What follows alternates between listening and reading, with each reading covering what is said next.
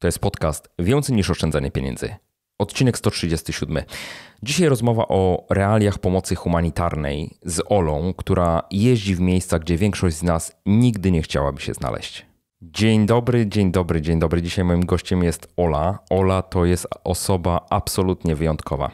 Na początku tego roku znalazła się w gronie zwycięzców konkursu 25 przed 25 magazynu Forbes. E, jego celem było wyłonienie 25 wybitnych Polaków w wieku poniżej 25 lat. Aleksandra K. Wiśniewska wygrała w kategorii działalność społeczna i Forbes napisał o niej tak – Zaczynała od zabezpieczania łodzi uchodźców na Morzu Egejskim i prowadzenia schroniska dla kobiet i dzieci w Grecji. Pracowała w obozie dla uchodźców we Francji, w zespołach ONZ w Turcji i w Jordanii. Ostatnie miesiące spędziła w Iraku, gdzie wspierała prowadzenie obozu dla 70 tysięcy wewnętrznie przesiedlonych przez wojnę. Prowadziła badania wspierające innymi zmianę brytyjskiego prawa odnośnie do azylu dla dzieci z Syrii. Od 2014 roku członkini Rady Nadzorczej Fundacji Pomocy Dzieciom Happy Kids, prowadzącej 14 rodzinnych domów dziecka. No i przyznam się Wam, że ja od kilku lat szukałem takiej osoby, która byłaby w stanie wiarygodnie, uczciwie i dosyć ciekawie opowiedzieć o pracy wolontariusza, który niesie pomoc w miejscach dotkniętych największymi klęskami i kryzysami kogoś, kto byłby takim wolontariuszem, ale na tym by nie poprzestał. To znaczy pełniłby także funkcję e, pełnoetatowego pracownika humanitarnego. Bo trochę jest tak, że my wszyscy mamy jakieś wyobrażenie o tej pracy, ale zupełnie inaczej jest coś sobie wyobrażać, a zupełnie inaczej poznać rzeczywiście te realia. Czasami mamy wyobrażenie, że osoby, które niosą pomoc humanitarną, to są jacyś e, herosi, ludzie ciężko doświadczeni przez życie, albo przynajmniej osiłki, które są w stanie wykonywać przeróżne zadania. A tymczasem są to ludzie tacy sami jak my. Wcale nie więksi, nie silniejsi, po prostu osoby, które aktywnie przechodzą od e, deklaracji chęci pomocy innym do praktycznego działania. I to niekiedy w ekstremalnych warunkach. Mój dzisiejszy gość, Ola Wiśniewska, jest właśnie takim, można powiedzieć, niepozornym bohaterem. I pomimo swojego młodego wieku, osobą, która jest bardzo, ale to bardzo doświadczona w obszarze pomocy humanitarnej. Także zapraszam serdecznie do wysłuchania naszej rozmowy. Cześć Ola. Cześć Michał. Przedstaw się proszę słuchaczom, powiedz kim jesteś, co robisz, jak ta twoja historia w ogóle, a do historii to przejdziemy może krótko na początek. Nazywam się Aleksandra Karolina Wiśniewska, mam 25 lat. I technicznie z wykształcenia akademicko jestem po politologii i filozofii. Jestem politologiem ze specjalizacją strategia, strategia wojenna. Natomiast e, tak z przypadku trochę i, i, i z potrzeby świata jestem pracownikiem humanitarnym, inaczej również nazywanym humanitarystą. I, i, i moja, moja ekspertyza dotyczy odpowiedzi humanitarnej na konflikty zbrojne, e, w szczególności na Bliskim Wschodzie. No właśnie, Olu, i ty masz olbrzymie doświadczenie i wiem, że brałaś już udział w wielu misjach i e, no byłaś w wielu miejscach, bo nie wiem, czy formalnie to są misje, czy nie, ale mhm. no, niosłaś pomoc w wielu miejscach, więc jakbyśmy mogli tak się cofnąć chronologicznie, jakbyś mogła opowiedzieć, gdzie się zaczęło i gdzie byłaś. Mhm. Więc e, a propos tego ogromnego doświadczenia, to, to absolutnie nie jest, nie, nie, nie jest ogromne i cały czas je zbieram. Natomiast um, takim, takim moim zupełnie pierwszym doświadczeniem to um, było 4 lata temu, 2015 rok, grudzień 2015 i byłam wtedy, zaczynałam jako wolontariuszka, um, wolontariuszka jako nurek, właściwie ratownik e, na, na Morzu Śródziemnym, konkretnie na Morzu Egejskim, mhm. między Turcją a Grecją przy wyspie Lesbos. Um, I tam, um, tam pracowałam w nocy na morzu. Um, w dzień prowadziłam schronisko dla kobiet i dla dzieci w obozie Moria, w jednym z największych obozów na, na Wyspach Greckich. Potem następną misją to była, to była praca we Francji i tam prowadziłam badania dla właściwie dla rządu brytyjskiego, które dotyczyły identyfikacji miejsc, w których ukrywały się samotnie dzieci syryjskie. W tym wtedy było około 3000 dzieci syryjskich ukrytych w różnych obozach na, na różnych etapach szlaku uchodźców w Europie.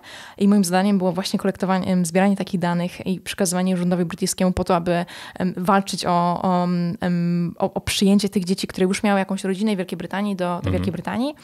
Następnie pracowałam już jako pracownik humanitarny w Turcji dla ONZ-u, dla Organizacji Narodów Zjednoczonych, konkretnie dla takiego ciała ONZ-u, które nazywa się UNDP Istanbul International Center for Private Sector Development, co oznacza po prostu centrum, centrum w Stambule, które pracowało nad wkładem sektora prywatnego w działalność rozwojową. I tam po 8 miesiącach pracy przedostałam się stamtąd do, do takiego ciała ONZ-owskiego innego, tym razem w Jordanii, pracując nad konfliktem w Syrii. I tam pracowałam dla takiego ciała UNDP UNHCR Joint Secretariat, czyli dla takiej um, wspólnej inicjatywy Wysokiego Komisarza um, ONZ do spraw uchodźców um, i, i, agendy do spraw rozwoju. I tam próbowaliśmy tworzyć plany dotyczące jakby odpowiedzi humanitarnej na kryzys w Syrii w pięciu państwach, które wzięły najwię największą ilość syryjskich uchodźców, czyli w, w, w, Turcji, w Libanie, w Iraku, w Egipcie, w Jordanii. Następnie pracowałam w Iraku podczas bitwy o Mosul, zdając raport ONZ-owi. I po, roku przerwy, który wzięłam na studia magisterskie, powróciłam do Iraku, gdzie pracowałam przez około 6 miesięcy z iracką organizacją e, pod Mosulem. W Mosulu wtedy właśnie dogorywała największa, największa bitwa właściwie ostatnich dziesięcioleci o odbicie miasta od, od jednostek ISIS. Mhm. Ja pracowałam e, tam z organizacją iracką, która prowadziła największy obóz pod Mosulem dla osób wewnętrznie przesiedlonych. Było tam około 70 tysięcy ludzi. I starała się też reaktywować gospodarkę zniszczonego, zupełnie, zupełnie doszczętnie zniszczonego Mosulu. A teraz jestem właściwie od kilku dni dopiero pracownikiem Polskiej Akcji Humanitarnej. Po raz pierwszy mam, mam wielką radość pracować trochę w imieniu Polek i Polaków, e, którzy chcą pokazywać solidarność z, z ofiarami konfliktów zbrojnych i katastrof naturalnych na całym świecie. I, i właśnie w, z ramienia Pachu będę teraz koordynować nasze pierwsze projekty w Jemenie. Tak. Niesamowite. Niesamowite. I teraz powiem Ci y, taką, taką dygresję zrobię, bo tak się pewnie zastanawiają niektóre osoby, które nas oglądają. E, mówią, ładna dziewczyna. E, wygląda trochę jak nie Polka. I ja miałem pierwszy raz takie wrażenie, y, jak się poznaliśmy, a poznaliśmy się niedawno. E, I mówię, wow, ale ta dziewczyna świetnie mówi po tak. polsku. A później tak. e, się dowiedziałem, że oczywiście ty jesteś urodzona w Polsce, Polka. W Polsce e, się wychowałaś, więc mówię, no, takie stereotypowe myślenie mi się włączyło, nie? I teraz pytanie, tak się zastanawiam, bo wiem, że wychowałaś się w Łodzi. Urodziłaś się w ogóle w Łodzi, nie? Urodziłam się w Łodzi. Urodziłaś tak. się w Łodzi, wychowałaś się w Łodzi i tak się zastanawiam, jak ci było? Y, tak chciałbym się cofnąć tak naprawdę bardzo daleko w czasie mm. i się zastanawiam, jak dziewczyna o takiej urodzie jak ty, różniąca się wyglądem od typowej Polki i Polaka, odnajdywała się, że tak powiem, w e, polskiej szkole kiedyś tam, dawno temu. Więc to jest Trudne pytanie, dlatego, bo oczywiście to jest, to jest jakaś dawna historia i kawał mojego dzieciństwa, które pewnie w, w dużym stopniu wpłynęło na to, jak dzisiaj postrzegam świat. Więc być może Takie tutaj dobrze, dobrze rozgryzasz właśnie genezę, y, genezę mojej pasji. Więc rzeczywiście moja mama pochodzi z Tajlandii, jest w połowie Chinką, w połowie Tajką. Mój tata jest Polakiem, ja posiadam obywatelstwo polskie i tajskie. Natomiast tak naprawdę no jakby do końca nie, nie zdawałam sobie sprawy jakby z tej rozbieżności wizualnej pomiędzy mhm. mną a, a, a, przeciętnym jakby z, słowiańskim, polskim dzieckiem, aż do momentu, w którym jakby wysłano mnie do przedszkola i wtedy uświadomiło mnie o tym po prostu inne dzieci, tak? I, i, i ich rodzice. I, I czasem, e, no niestety to czasem bywały sytuacje, w których um, to było dosyć bolesne Mhm. Mianowicie się, zdarzały się sytuacje, w których no, jak chodziłam do, chodziłam do szkół publicznych i, i rzeczywiście pamiętam moment, w którym już udawało mi się jakoś poczuć komfortowo w mojej klasie na przykład, tak z dziećmi, które były w, w moim wieku i, i, i dzwonił dzwonek i musiałam wyjść na korytarz, musiałam wyjść na, na przerwę i, i tam było dużo więcej dzieci i wiele z nich było dużo ode mnie starszych.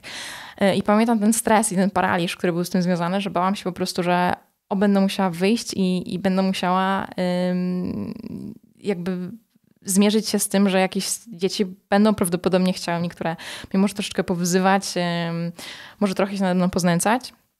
Zdarzały się sytuacje, w których rzeczywiście ym, jedna się taka sytuacja zdarzyła, w której dziewczyny ze starszej klasy zamknęły mnie na nieużywanym piętrze w toalecie.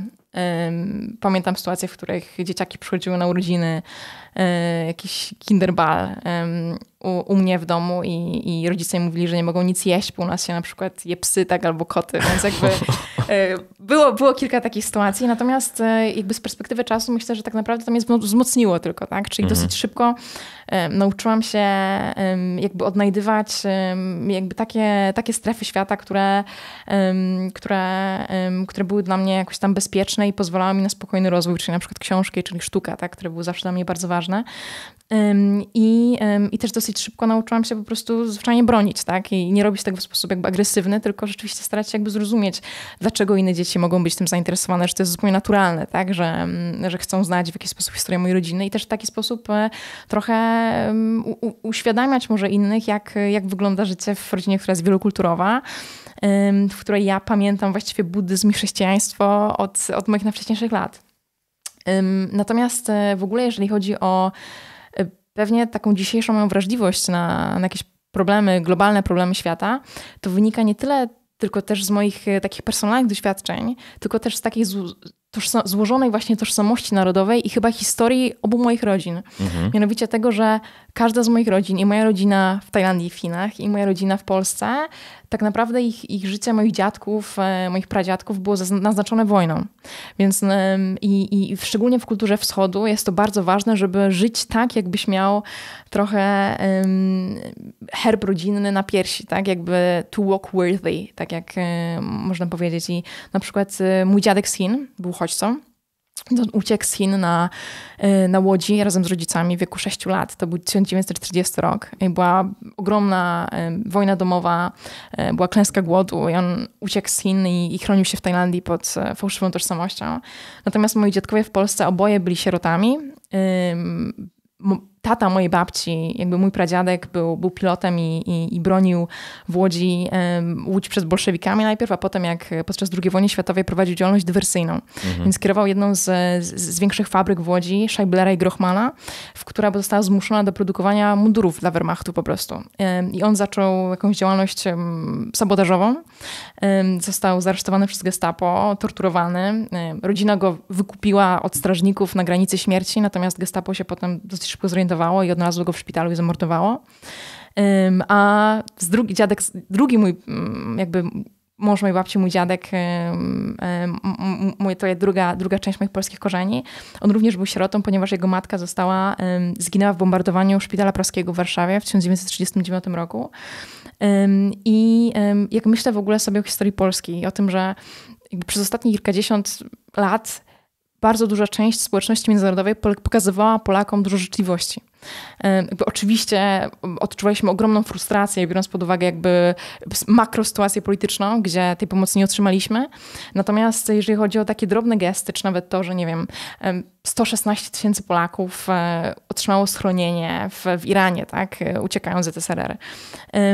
I to, to jestem głęboko wzruszona, widząc to, że po tych kilkudziesięciu latach rzeczywiście Polacy są teraz w stanie pomagać w innych częściach świata i jakby zwracać trochę ten dług i być solidarni.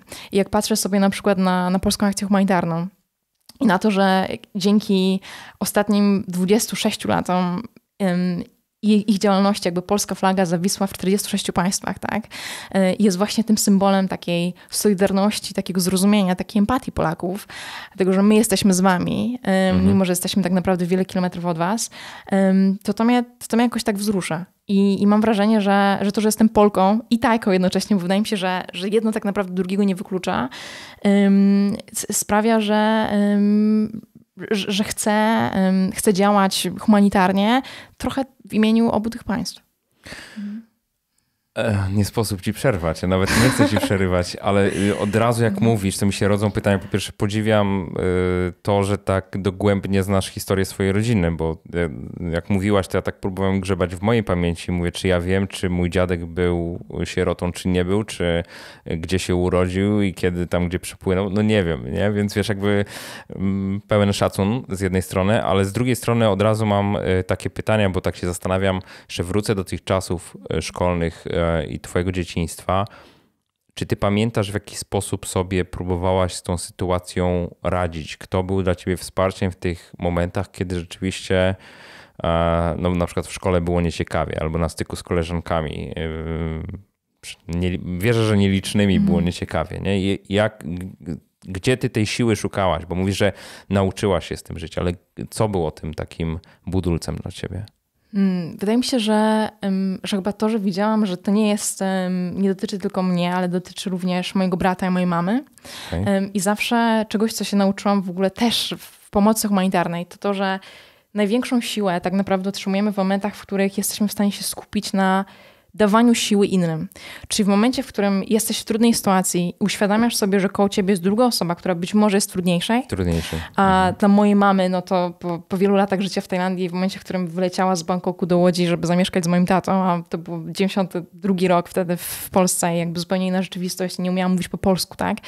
E, to dla niej, a ja się urodziłam w Polsce mimo wszystko, więc dla mnie to było, pewne rzeczy były oczywiste, dla niej były bardzo trudne. To w momencie, w którym zaczynamy dawać naszą siłę innej, innej osobie, to tak naprawdę stajemy się jeszcze silniejsi. Mhm. I wydaje mi się, że też swoją siłę jako ludzie często odkrywamy w momentach, w których naprawdę nie mamy innego wyboru niż być silni. Mhm. E, więc dla mnie na przykład stawianie się w obronie mojego młodszego brata i w obronie mojej mamusi która, mm. dla której na przykład polski nie zawsze był językiem, e, nie, po prostu nie jest językiem ojczystym, tak? I który w wielu mm. sytuacjach ktoś po prostu mógł być nieuprzejmy dla niej, e, kiedy ja mogłam od razu powiedzieć, przepraszam, nie życzę sobie tego, żeby pan mówił tak do mojej mamy, tak? Mm. I wydaje mi się, że, że w, w takich sytuacjach po prostu stawałam się zupełnie silna i odporna, bo widziałam, że to nie ja jestem tą osobą, która może sobie po prostu pozwolić na bycie ofiarą, że muszę być silna też dla, dla innych. Jasne, jasne. Wiem też, że uczyłaś się za granicą i myślę, że to też było taką, takim źródłem dla ciebie e, no, wiedzy o świecie chociażby, nie? Bo sama wspomniałaś, że kończyłaś studia w Londynie. Dobrze mówię? W Londynie i w Oksfordzie. Mhm. Ale ciekawy jestem tych wcześniejszych doświadczeń, bo wiem, że chyba już w czasach licealnych też e, wyjechałaś na jakieś stypendium, nie? Tak, tak. Dobra, opowiedz o tym, bo to jest mega ciekawy wątek, bo wiem, że te studia, znaczy to nie studia właśnie, to szkoła średnia, ale też była dosyć specyficzna. tak, więc jak miałam 16 lat i, i, właśnie trochę poniekąd nie odnajdywałam się zawsze dobrze w, w, polskim systemie edukacji. Wydawało mi się, że często narzucane są na mnie pewne dogmaty, z którymi się nie zgadzałam. To też szukałam jakby innych ścieżek rozwoju. I natrafiłam online na, na stronę UWC Polska, UWC Polska i teraz wszystkich jakby z Państwa, którzy mają na przykład młodsze rodzeństwo w wieku 15-16 lat, czy dzieci w tym wieku, bardzo serdecznie zapraszam. Uważam, że to jest po prostu najlepsze doświadczenie edukacyjne, które można dać jakby młodej, ambitnej osobie, która chce się rozwijać w tym wieku. I na tej stronie zobaczyłam, że takie towarzystwo Zjednoczonych Szkół, Szkół Zjednoczonego Świata, United World Colleges w Polsce, szuka 15-16-latków po, w pierwszej liceum, którzy mają no, jakiś ograni- osiągnęły jakiś og pułap akademicki, powiedzmy, czy brał udział wcześniej w olimpiadach. E, I jeżeli przejdą takie dzieciaki odpowiednio, dosyć rygorystyczną rekrutację, to otrzymają pełnostypendialne miejsce na dwa lata ostatniej szkoły średniej, na dwa lata liceum, mhm. albo w szkole prywatnej Wielkiej Brytanii, albo w jednej właśnie z tych szkół Zjednoczonego Świata. I teraz szkół Zjednoczonego Świata, UWCs, jest 18 na całym świecie. 18 szkół w czterech kontynentach. One powstały w 1962 roku jako odpowiedź takiego niemieckiego edukatora Kurta Hanna na, na zimną wojnę. Mhm. Więc tak naprawdę on doszedł do wniosku, że um, można być może zwiększyć jakby kooperację i współpracę międzynarodową poprzez budowanie przyjaźni z, wśród dzieciaków na bardzo wczesnym jeszcze stadium ich, ich rozwoju intelektualnego, osobowościowego, poprzez budowanie przyjaźni właśnie, czyli na przykład między, nie wiem, Izraelitą a Palestyńczykiem, tak? między Ormianem a Turkiem. I przystąpiłam do tego procesu rekrutacyjnego. Na początku w ogóle jakby nie znając sobie sprawy, za co się zabieram i, i też szczerze mówiąc nie ufając za bardzo, że mi się uda. Ale tak sama z siebie Ola, czy, tak, czy tak. rodzice wiedzieli o tym? Y, rodzice się dowiedzieli ode mnie. Okej, okay, dobra. I oczywiście jakby potem się okazało, że rodzice też muszą iść na rozmowę rekrutacyjną w, w jednym z ostatnich etapów, żeby, żeby przypadkiem jakby nie zablokowali wyjazdu dziecka, żeby zobaczyć, sobie tego życzą i tak dalej. Więc rodzice też poszli na rozmowę bardzo zestresowani i wysłałam zgłoszenie zgłoszenie, bo z tego co wiem, to aplikowało nas około 460 chyba osób. Może, Łącznie może, z całego świata, czy nie, z Polski? Z Polski, z Polski. Polski. Więc, więc Polski było jedno miejsce pełnostypendialne do szkoły we Włoszech, UWC of the Adriatic, między Triestem a Wenecją była taka szkoła e, i było kilka miejsc tak fundowanych na 50-80% powiedzmy sobie. Okay. No i zaplikowałam i zostałam zaproszona najpierw na pierwszą rozmowę kwalifikacyjną i najpierw z 460 osób ścięto nas do 60. Potem z 60 do 30, potem z 30 do 15 i potem z 15 5 osób otrzymało stypendia, w tym jedna otrzymała pełne stypendium. I muszę powiedzieć, że miałam ogromne szczęście, bo rzeczywiście udało mi się otrzymać pełne stypendium, które wtedy było w wysokości około 40 tysięcy euro, czyli 180 tysięcy złotych, mhm. właściwie na dwa lata nauki we Włoszech.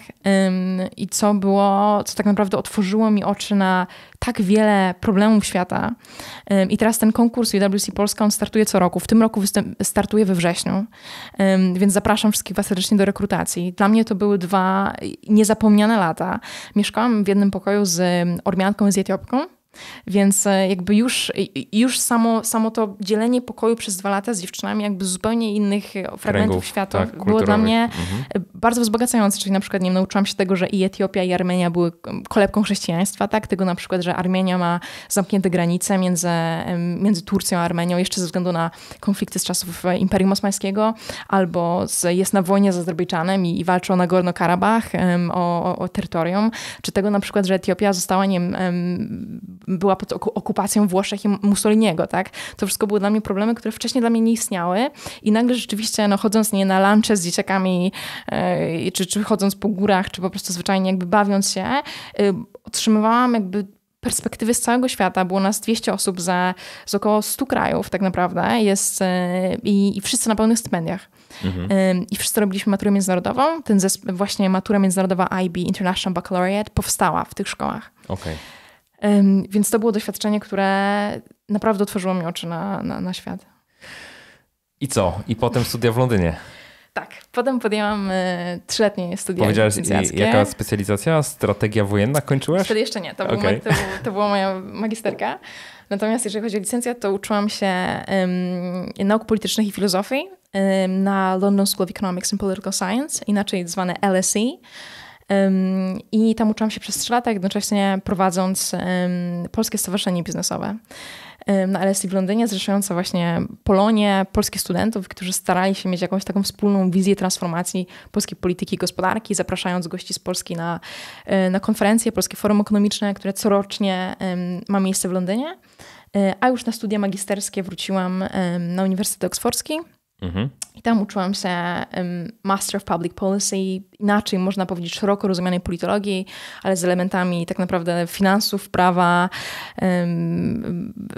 nauk rozwojowych, filozofii i specjalizowałam się w, w, w strategii militarnej, tak.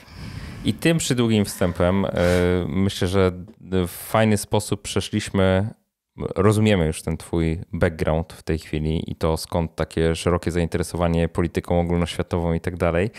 E, ale to, co mnie interesuje i to jest ta pierwsza wisienka na torcie, to jest ten moment, w którym zdecydowałaś, że wyjeżdżasz e, do Grecji. Jak do tego doszło? Więc byłam wtedy na trzecim roku studiów. E, mhm. Właśnie kończyłam licencjat na LSE w Londynie i byłam, to było tuż przed przerwą, przerwą zimową, przed przerwą świąteczną, więc wiedziałam, że mam miesiąc wolnego. Mhm. I z reguły zawsze wracam do domu na święta. Święta są bardzo ważne rodzinnie dla mnie. Natomiast no, dłuższego czasu wiedziałam, co się dzieje na Morzu Egejskim, na Morzu Śródziemnym. Akurat wrócił stamtąd mój kolega Grek, i jestem nurkiem. Jakby nurkowanie jest w ogóle naszą taką pasją rodzinną, więc doszłam do wniosku, że być może się przydam. Natomiast e, no, popełniłam kilka w ogóle błędów takich strategicznych, organizacyjnych wtedy w organizowaniu tej wyprawy, które mam nadzieję tutaj wam podać jako taki bad practice, nie do, e, nie do powtarzania. E, I uczcie się po prostu na moich błędach, a nie na własnych. I, i co zrobiłam, to po prostu po napisaniu egzaminów z filozofii spakowałam plecak, spakowałam piankę do nurkowania, jakąś tam latarkę, kilka batonów energetycznych I kupiłam bilet z Londynu do Aten, potem z Aten do Mytilene. Mytilene to jest stolica wyspy Lesbos. I po prostu stawiłam się w nocy w obozie e, i na brzegu jako niezrzeszona wolontariuszka, bez kontaktowania jakiejkolwiek organizacji właściwie wcześniej. Czyli totalnie w ciemno pojechałaś, bez tak. żadnego tak. Tak, sprawdzania, tak. nie wiedząc kto na miejscu za cokolwiek odpowiada, żadnego kontaktu nie miałaś, po prostu pojechałaś. Tak, tak. Co ci do łba strzeliło? Więc to jest. Wydaje mi się, że po prostu wtedy odczuwałam taką trochę potrzebę serca, ale też nie zdawałam sobie tak naprawdę sprawy z tego, co zobaczę. Więc e, szczerze mówiąc, wydawało mi się, że okej, okay, przyjadę, może przydam się, nie wiem, dwie godziny dziennie w jakimś magazynie, jakby rozdając ubrania osobom, które na przykład przy, przy, wychodzą z wody. Natomiast w ogóle nie zdawałam sobie sprawy z tego, że cała odpowiedź um, humanitarna wtedy na kryzys e, na Lesbos to po prostu opierała się na cywilach. Więc e, to, że się tam stawiłam, e, okazało się bardzo przydatne i od razu właściwie od dnia pierwszego otrzymałam ogromną odpowiedzialność, na którą byłam absolutnie nieprzygotowana. I teraz tylko podkreślam, że byłam tam właśnie jako wolontariuszka, więc nie byłam tam profesjonalnym pracownikiem humanitarnym. Mhm. I to, co tam robiłam, nie do końca ma związek jakby z, z profesjonalnym sektorem e, i, i w ogóle nie ma żadnego związku ze standardami, które obowiązują w tym sektorze. Mhm. I to też troszeczkę pokazuje, że my jako Europa w ogóle byliśmy nieprzygotowani na taką sytuację. Czyli mamy jakby standard operating procedures, jeżeli chodzi o, o, o kryzysy, które na przykład dzieją się na Bliskim Wschodzie czy w Afryce. Natomiast jak rzeczywiście coś takiego uderzyło w zdecydowanie mniejszej skali, ale mimo wszystko na przykład w Grecję, tak, czy we Włochy, mhm. no to liczyliśmy na to, że Unia Europejska, Frontex, czy organizacje pomocowe, czy UN sobie z tym poradzą. Okazało się, że tak wcale nie jest. Mhm. Więc w grudniu 2015, kiedy przyjechałam na Lesbos po raz pierwszy, um, był jeden obóz, wtedy główny dla uchodźców nazywał się Moria jeden mniejszy, nazywający się Karatepe. Natomiast te obozy łącznie mogły zarejestrować miesięcznie około 2,5 tysiąca uchodźców. I wtedy w grudniu 2015 120 tysięcy osób przedostało się z Turcji do Grecji. I tylko mhm. mówię o tych osobach, które przeżyły, tak? Bo wiele osób e, oczywiście po prostu ginęło w morzu po drodze. E, więc e, Unia Europejska, rząd grecki, wojska greckie były absolutnie do tego nieprzygotowane. I po prostu skończyło się na tym, że wszystko, od pracy na morzu, od wyciągania ludzi w, w połowie żywych tak naprawdę, y, po różne akcje medyczne, reanimacyjne, po organizację pracy w obozach i poza, poza obozami, y, po pomoc prawną tak naprawdę, jakby wszystko zostało, tak było organizowane przez dobrą wolę cywili, którzy byli w stanie jakby rzucić swoją pracę i przyjechać na, na krótkie momenty, czy na przykład na tydzień, na dwa tygodnie, na trzy tygodnie maksymalnie, wyjechać i potem ewentualnie, no nie wiem, ktoś, ktoś kolejny wracał i zastępował. Więc e, no, spotkałam się z absolutnym chaosem, z totalnym brakiem organizacji i w sytuacji, w której tak naprawdę od dnia pierwszego zostało mi powiedziane, że mam wziąć na, na siebie ogromną odpowiedzialność. Więc um, od, od, dnia pierwszego w obozie pracowałam w, w, takim schronisku wewnątrz obozu, którego zadaniem było, było dać taki azyl na noc kiedy było naprawdę bardzo zimno, temperatury spadały do minus tam 7, minus 8 stopni w zimę w Grecji wtedy, żeby to miało być miejsce takiego azylu i schronienia dla najbardziej wrażliwych osób, czyli dla, na przykład dla starców, dla niemowląt, dla samotnych kobiet, dla których to było niebezpieczne, żeby spały na ziemi w innym mhm. miejscu. Natomiast e, składało się ono tak naprawdę z trzech baraków, które były byłym więzieniem. Dlatego, bo cały, cały obóz Moria znajdował się na, na, na terenie byłej bazy militarnej, byłej bazy wojskowej otoczonej jakby wielkim, wysokim murem, drutami kolczastymi. I też ponieważ była to struktura wojskowa, no to, to też dawało bardzo wygodny pretekst rządowi greckiemu, żeby nie wpuszczać tam dziennikarzy. Więc jakiekolwiek zdjęcia wewnątrz były zabronione, nie było tam żadnych dziennikarzy, mhm. przez co ja tym bardziej czułam, że muszę, że muszę kręcić, że muszę robić zdjęcia, tak? Policja grecka zabierała mi aparat, po kilku dniach go odbierałam i robiłam dalej, tak? Mhm. Więc otrzymałam te trzy baraki, które de facto służyły za, właśnie za miejsce schronienia na noc dla najbardziej wrażliwych osób i za szpital. Natomiast było tam miejsce dla 200 osób może. Były tam łóżka takie piętrowe. Mhm. I razem z innymi wolontariuszami po prostu wyciągnęliśmy wszystkie łóżka z zewnątrz i zaczęliśmy wykładać te, te baraki kocami, jakimiś piworami, jakimiś materacami, czy nawet po prostu no, gazetami czy kartonami, po to, żeby móc tam co noc wepchnąć około 2000 osób. I policja grecka na przykład nam dawała na to 15 minut, tak? Więc mhm. jakby zupełna masakra organizacyjna i niestety po dwóch tygodniach mojej pracy w tych barakach um, zwróciło się do mnie ONZ, do mnie i do grupy kilku wolontariuszy, mówiąc, że organizacja, która prowadzi nadzór nad tymi barakami, profesjonalna organizacja humanitarna, czy nam się wydawało, że profesjonalna, zostaje wydalona z obozu za podejrzenia wykorzystywania seksualnego i przemocy seksualnej na uchodźcach. Yy, I zwrócili się do nas e, z pytaniem, czy my przypadkiem nie, nie moglibyśmy wziąć na siebie prowadzenie tego, tych, tych baraków jakby przez kolejny miesiąc, aż do momentu, w którym ogromna organizacja pomocowa Danish Refugee Council, Council Duńska Rada Uchodźców przyjedzie po prostu i przejmie to od nas. Mhm. I teraz ja miałam 21 lat. Y, nie miałam żadnego szkolenia, właściwie może jedno szkolenie z pierwszej pomocy wcześniej. Y, I nagle musiałam prowadzić jakby de facto szpital z pięciorgiem osób w moim wieku, tak. To, były, y, to było ogromne wyzwanie, natomiast no, powiedziałam sobie, że nie mogę tego nie zrobić, tylko poprosiłam ONZ o, o dwie rzeczy. Poprosiłam ich o koce, mhm. było bardzo zimno, o to, żeby mi dostarczali co nocy koce dla ludzi wewnątrz i o posiłki. Tak? I teraz ONZ rozdzielała około 2000 posiłków między, przepraszam, nie, przesadzam, około tysiąca posiłków między dwa obozy. Także jakby dziennie nie starczało na jeden posiłek dziennie dla jednej osoby, tak? Więc jakby rozwadnialiśmy te posiłki. Nie było, nie było mleka dla niemowląt, tak? I oprócz tego koce, które dostawaliśmy, no to były, to były śmieszne ilości, dlatego na przykład e, jednej nocy otrzymałam 70 kocy i tej nocy w obozie było 7 tysięcy ludzi. E, więc co zrobiłam? To wyszłam poza te baraki. Wiedziałam, że osoby, które dostaną koce, to nie będą osoby, które śpią w środku, tylko osoby, które mogą zamarznąć po prostu. Tak. I starałam się jakby zdystrybutować, przepraszam, Rozdystrybuować. Te koce. Dokładnie, rozdystrybuować te koce osobom, które spały na ziemi. I po jakichś dwóch godzinach wyszłam z powrotem na zewnątrz i po prostu zobaczyłam, że ludzie wymieniają wszystkie swoje um, najbardziej cenne, drogocenne przedmioty na te koce, czyli na przykład złoto, Handel. pieniądze. Tak? Handel wymienny. Więc jakby to było e, masakra, tak? I, um, I rzeczywiście była taka sytuacja w Nowy Rok, między 2015 a 2016 roku, że niemowlę zamarzło nam na śmierć w obozie Moria w Grecji. I to niemowlę, które jakby wydostało się jakby z Syrii, Afganistanu, Palestyny czy Iranu, tak? które przedostało się przez granicę góry morza, dotarło do obozu i zamar zamarzło w Unii Europejskiej. Tak? To jest kilka kilometrów dosłownie od szpitali, od centrów medycznych, od miejsc, w których ludzie świętowali Nowy Rok. Więc to był dla mnie um, taki duży cios wtedy. Dla, jako Europejki, jako Polki, tak? To był dla mnie po prostu było mi wstyd, muszę powiedzieć. Natomiast no, zdecydowanie najbardziej drastyczne sceny, które, które widzieliśmy, no, to były sceny, które się działy na morzu.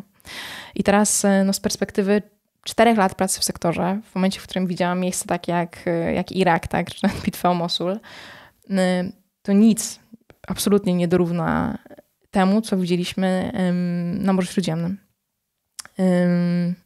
Pierwszej nocy to wyglądało tak, że jakby pracowałam za dnia właśnie w tym obozie, a w nocy na, na brzegu razem z taką grupą wolontariuszy hiszpańskich, którzy byli po prostu strażakami, którzy znali się na pierwszej pomocy i na, na ratowaniu ludzi. Byłam jedną kobietą w tej grupie. Dostałam jakoś tak, dostałam podstawowe szkolenie i zbieraliśmy się co nocy przy lotnisku. Dlaczego? Dlatego, bo wojska greckie zabraniały nam, policja grecka zabraniała nam wypływać w morze, bo Unia Europejska podpisała jakby z Turcją taką dyrektywę, która miała zamknąć szlak morski. Więc co robili? To aresztowali wszystkich wolontariuszy, którzy pracowali na wodzie po obu stronach. Um, dlatego było oskarżono nas po prostu o przemyt ludzi, co było po prostu absolutnym, absolutnym absurdem, tak. kłamstwem, jakby rzeczywistością jakby, jakby 1984, tak orwellowską, orwellowskim koszmarem po prostu, dlatego, bo jakby międzynarodowe prawo morskie nakazuje ci pomóc łodzi w niebezpieczeństwie, jeżeli jesteś w pobliżu. Um, więc co robiliśmy? To po prostu zbieraliśmy się przy lotnisku i stamtąd uchodźcy widzieli, widzieli w nocy światła tego lotniska. I oni I po prostu na, nakierowali się mniej więcej na to lotnisko. Natomiast e, no, łodzie wyglądały w taki sposób, że to były po prostu pontony, zupełnie nieprzygotowane do żeglugi morskiej, czasem z jakimś silnikiem, który na przykład wysiadał na środku morza. Yy, I przemytnicy ludzi pakowali tam po 40, 50, czasem nawet 60 osób na łodziach, na których generalnie spokojnie, swobodnie mogły usiąść może z 15, tak? Więc te łodzie były zupełnie jakby właściwie już przeciążone. tonęły, były zupełnie przeciążone i wystarczyło, żeby ktoś wstał, tak? Żeby, żeby ta łódź się, chybotała. I teraz e, brzeg grecki i brzeg turecki oba są bardzo kamieniste, więc bardzo często się tak zdarzało, że po prostu łódź uderzała w skałę. Szczególnie, że większość z tych osób zupełnie nie znała się na, na, na prowadzeniu jakichkolwiek łodzi, dlatego, bo państwa na Bliskim Wschodzie w większości są państwami pustynnymi, tak, jakby zamkniętymi, bez, bez dostępu do morza ci ludzie w większości nie potrafią pływać. I teraz dzieci przez to kładzono wewnątrz łodzi, po to, żeby nie powypadały z boków. Natomiast to również oznaczało, że na przykład jeżeli łódź się załamywała, dochodziło na przykład do złamania kadłubu, tak? tak. To dzieci szły w dół pierwsze. Więc to chodziło do bardzo, bardzo trudnych scen i, i my wtedy otrzymywaliśmy sygnał z tak zwanych spotting stations, czyli z miejsc, w których po prostu inni wolontariusze obserwowali morze w nocy, mhm. które nam mówiło, w którym miejscu jest ta łódź, na przykład czy bliżej tureckiego brzegu, czy bliżej greckiego brzegu i wtedy w zależności od tego różne grupy e, Reagowały. morskie reagowały. No więc wtedy co robiliśmy? To z naszym malutkim, śmiesznie małym potonikiem e, wypływaliśmy po prostu w morze i jeszcze zanim, przepraszam, zanim wypłynęliśmy, miałam obowiązek zadzwonić do, do, do, do greckiej jakby straży przybrzeżnej, przybrzeżnej i powiedzieć im, że jakby emergency, emergency, emergency, a vessel in distress, coordinates these and these, czyli jakby w tym i w tym miejscu znajduje się łódź niebezpieczeństwie, tak. współrzędne podać. I teraz tylko w momencie, w którym oni mówią, że na przykład jest za duży sztorm, albo że są zajęci i nie mogą wypłynąć, albo że nie chcą wypłynąć, po prostu tak się zdarzało, wtedy wypływaliśmy my. I mogliśmy się ewentualnie w sytuacji na przykład potencjalnego aresztowania wytłumaczyć z tym, że rzeczywiście... Że no, uprzedziliście. Tak, to prawda, że mhm. uprzedziliśmy na wszelki wypadek, że, że to nie było tak, że ruszyliśmy zupełnie, na, zupełnie spontanicznie. I wtedy wypływaliśmy i naszym zadaniem jako nurków było jakby uspokoić ludzi w takich łodziach, które właściwie już były półtonące i postarać się ustabilizować łódź spod spodem. Czyli po prostu zanurzaliśmy się, jak ktoś tam powypadał, to staraliśmy się go z powrotem włożyć, uspokoić wszystkich i ze względu na to, że większość łodzi rozbijała się około na przykład 300-200 metrów od brzegu, to byliśmy w stanie doprowadzić tą łódź do brzegu, a nie mhm. mogliśmy posługiwać się prawnie większymi łodziami, żeby te ludzi na przykład przełożyć na naszą łódź, tak? tak? To było nielegalne. To widzimy teraz jakby we Włoszech, gdzie osoby są aresztowane za, za tego działalność, tego typu działalność. Więc staraliśmy się ich uspokoić i, i doprowadzić do brzegu. I podczas mojej pierwszej nocy na morzu udało nam się zabezpieczyć właśnie lądowania trzech łodzi. Około 40-50 osób na każdej. Powiedzmy tak 120 osób może w sumie. Ale zginęło 18. Um, I um, pamiętam po prostu ten moment, w którym wracałam do hotelu około 7 nad ranem. Um, strasznie mnie bolały mięśnie, byłam zupełnie przygotowana fizycznie, mimo tego, że byłam jakieś 10 kilo jakby bardziej masywna niż jestem teraz, to, to zupełnie byłam na to nieprzygotowana. Wracałam do tego hotelu, zdjęłam z siebie jakby sprzęt nurkowy, usiadłam i po prostu jako młoda dziewczyna zupełnie nieprzygotowana, tak, nie pracownik humanitarny, jako wolontariuszka, w którymś momencie nie byłam w stanie powiedzieć jakby czy sól na moich ustach to jest jeszcze woda morska, czy to są moje łzy. Byłam w takim absolutnym szoku. I to był moment, w którym moja rodzina namawiała mnie bardzo do powrotu na święta do domu i powiedziała mi, słuchajcie, wy możecie do mnie przyjechać, jeżeli jesteście w stanie, ale ja przepraszam was, po prostu nie mogę, po prostu nie byłabym w stanie sobie spojrzeć w oczy. I jeszcze miałam tą świadomość, że co nocy policja stara się aresztować wolontariuszy, więc to nie jest tak, że jak ja nie przyjdę, to przyjdzie ktoś inny, tak? Tak. Więc ym, po prostu pracowałam na morzu i po, po trzeciej, czwartej łodzi wracałam do obozu, tak? Yy, pracowałam w obozie, a potem spałam kilka godzin i potem wracałam z powrotem na morze. Yy, I w którymś momencie po tym, po tym pierwszych półtora miesiąca w Grecji musiałam wrócić do szkoły, tak? Musiałam wrócić na, na mój licencjat. E, I zastanawiam się, czy po prostu nie, nie przełożyć tego ostatniego roku, tak? Że nie mhm. jestem w stanie po prostu jednocześnie być w Londynie i, i w Grecji, ale udało mi się ze szkołą wypracować takie rozwiązanie, że ponieważ miałam lekcję poniedziałek, czwartek, to w czwartek wieczorem już byłam przygotowana na lekcjach jakby z plecakiem i, i po ostatniej lekcji wybiegałam, biegłam po prostu na lotnisko i stamtąd brałam samolot do, do Aten, z Aten do Mytileny na Lesbos i pracowałam trzy noce na morzu i trzy dni w obozie i wracałam z powrotem do szkoły. E, do końca mojego ostatniego roku szkolnego na studiach. Masakra. Ile czasu spędziłaś łącznie na Lesbos? Ile dni? Trudno mi powiedzieć, ale od, od, od grudnia no byłam tam właściwie co tydzień, tak? Mhm. I y, aż do momentu, w którym rzeczywiście ta dyrektywa między Turcją a Unią Europejską zupełnie zamknęła te szlaki, czy Unia Europejska po prostu zainwestowała chore pieniądze w to, żeby Turcy, żeby Turcy nie wpuszczali. monitorowali tak. szlaki morskie. W nocą na przykład wywożono uchodźców autobusami z, z Lesbos z powrotem do Turcji cofano ludzi z powrotem. Przez to ludzie musieli jakby wybierać coraz trudniejsze szlaki morskie i to po prostu doprowadzało do masowej śmierci teraz, po to, żeby w perspektywie kilku miesięcy czy kilku lat można było jakby zmniejszyć ilość ludzi, którzy wracają. No i ta polityka jest teraz na przykład uznawana za, przez Amnesty International za, za po prostu za zbrodnię przeciwko ludzkości. I wydaje mi się, że to jest coś, z czym w ogóle politycy europejscy będą e, mieli jakby duży problem moralny i etyczny i z, z czego już powoli jakby zdają sobie sprawę, bo przez, przez tą politykę bezpośrednio zginęło około 12 tysięcy ludzi. Jakby do tej pory w życiu codziennej jest, jest, jest wiele ciał, które no czasem jakby ciała mają to do siebie, że jak się rozkładają, no to pewne gazy w pewnym czasie sprawiają, że jakby te ciała się unoszą na wodzie. E, natomiast no, nikt nie jest w stanie jakby, ani nie ma czasu poświęcić, żeby po prostu te ciała wydobyć, żeby, żeby doszło do godnego pochówku. E, I tak naprawdę no, mamy morze, które jest pełne, no, pełne trupów, tak? Mówiąc e, po prostu wprost. Morze Egejskie. Tak, tak, tak. Morze Egejskie. Również ta sytuacja wygląda bardzo podobnie między, między Włochami a Libią. Mhm. Um, um, i, I to było moje zupełnie pierwsze doświadczenie w tym sektorze. powtarzam, nie byłam przygotowana. Y, byłam bardzo młoda, nie miałam absolutnej wiedzy, z czym to się je. Y, I teraz z perspektywy mojej własnej historii, na dobre mi to wyszło, dlatego, bo jakby nic potem innego nie robiłam, wiedząc, że cokolwiek zrobię, to będzie jakąś tam zdradą wobec tego, co ci ludzie by ode mnie oczekiwali, wydaje mi się jakich wyborów musiałabym podjąć potem, żeby zapobiec takim sytuacjom. Y, natomiast y, na pewno, jeżeli jakby słuchacze tutaj chcecie wejść w ten sektor, to są dużo bardziej ustrukturyzowane sposoby. Na przykład, jeżeli chodzi o Lesbos, załóżmy, tak, jeżeli byście mhm. chcieli się tam wybrać, to mm, pierwszym takim podstawowym punktem wyjścia jest w ogóle grupa na Facebooku, która się nazywa jakby Lesbos Information Point for Volunteers mhm. um, i która jest, jest grupą, do której każdy może dołączyć i tam się znajduje ogromny dokument, e, po prostu Google Spreadsheet, na którym masz, macie setek stron o informacjach dotyczących tego, czego możecie spodziewać na wyspie, jakie są organizacje, jakich potrzebują wolontariusze, na jaki okres czasu, z jakimi umiejętnościami, czy na przykład, um, czy na przykład otrzymacie rekompensatę za, um, za pobyt, za paliwo, za za koszty utrzymania, za jedzenie i tak dalej. Wiele organizacji rzeczywiście, jeżeli chcecie zostać dłużej niż na przykład na dwa tygodnie, jest w stanie wam pomóc w tym, tak? Mhm. I teraz e, tylko chciałam was ostrzec, że no jak ja tam byłam te cztery lata temu, to ym, paradoksalnie wydaje mi się, że ta praca była prostsza. Teraz dlaczego? Dlatego, bo jak wyciągaliśmy ludzi z wody, oczywiście licząc się z tym, że, że części nie udało się nam wyciągać, ym, to ci ludzie mieli w sobie wdzięczność. To oni wiedzieli, że mają przed sobą jakieś jutro że udało im się dotrzeć do tej ziemi wymarzonej. Tak, tej ziemi wymarzonej. Ziemi obiecanej. Dokładnie, do tej, do tej Arkadii.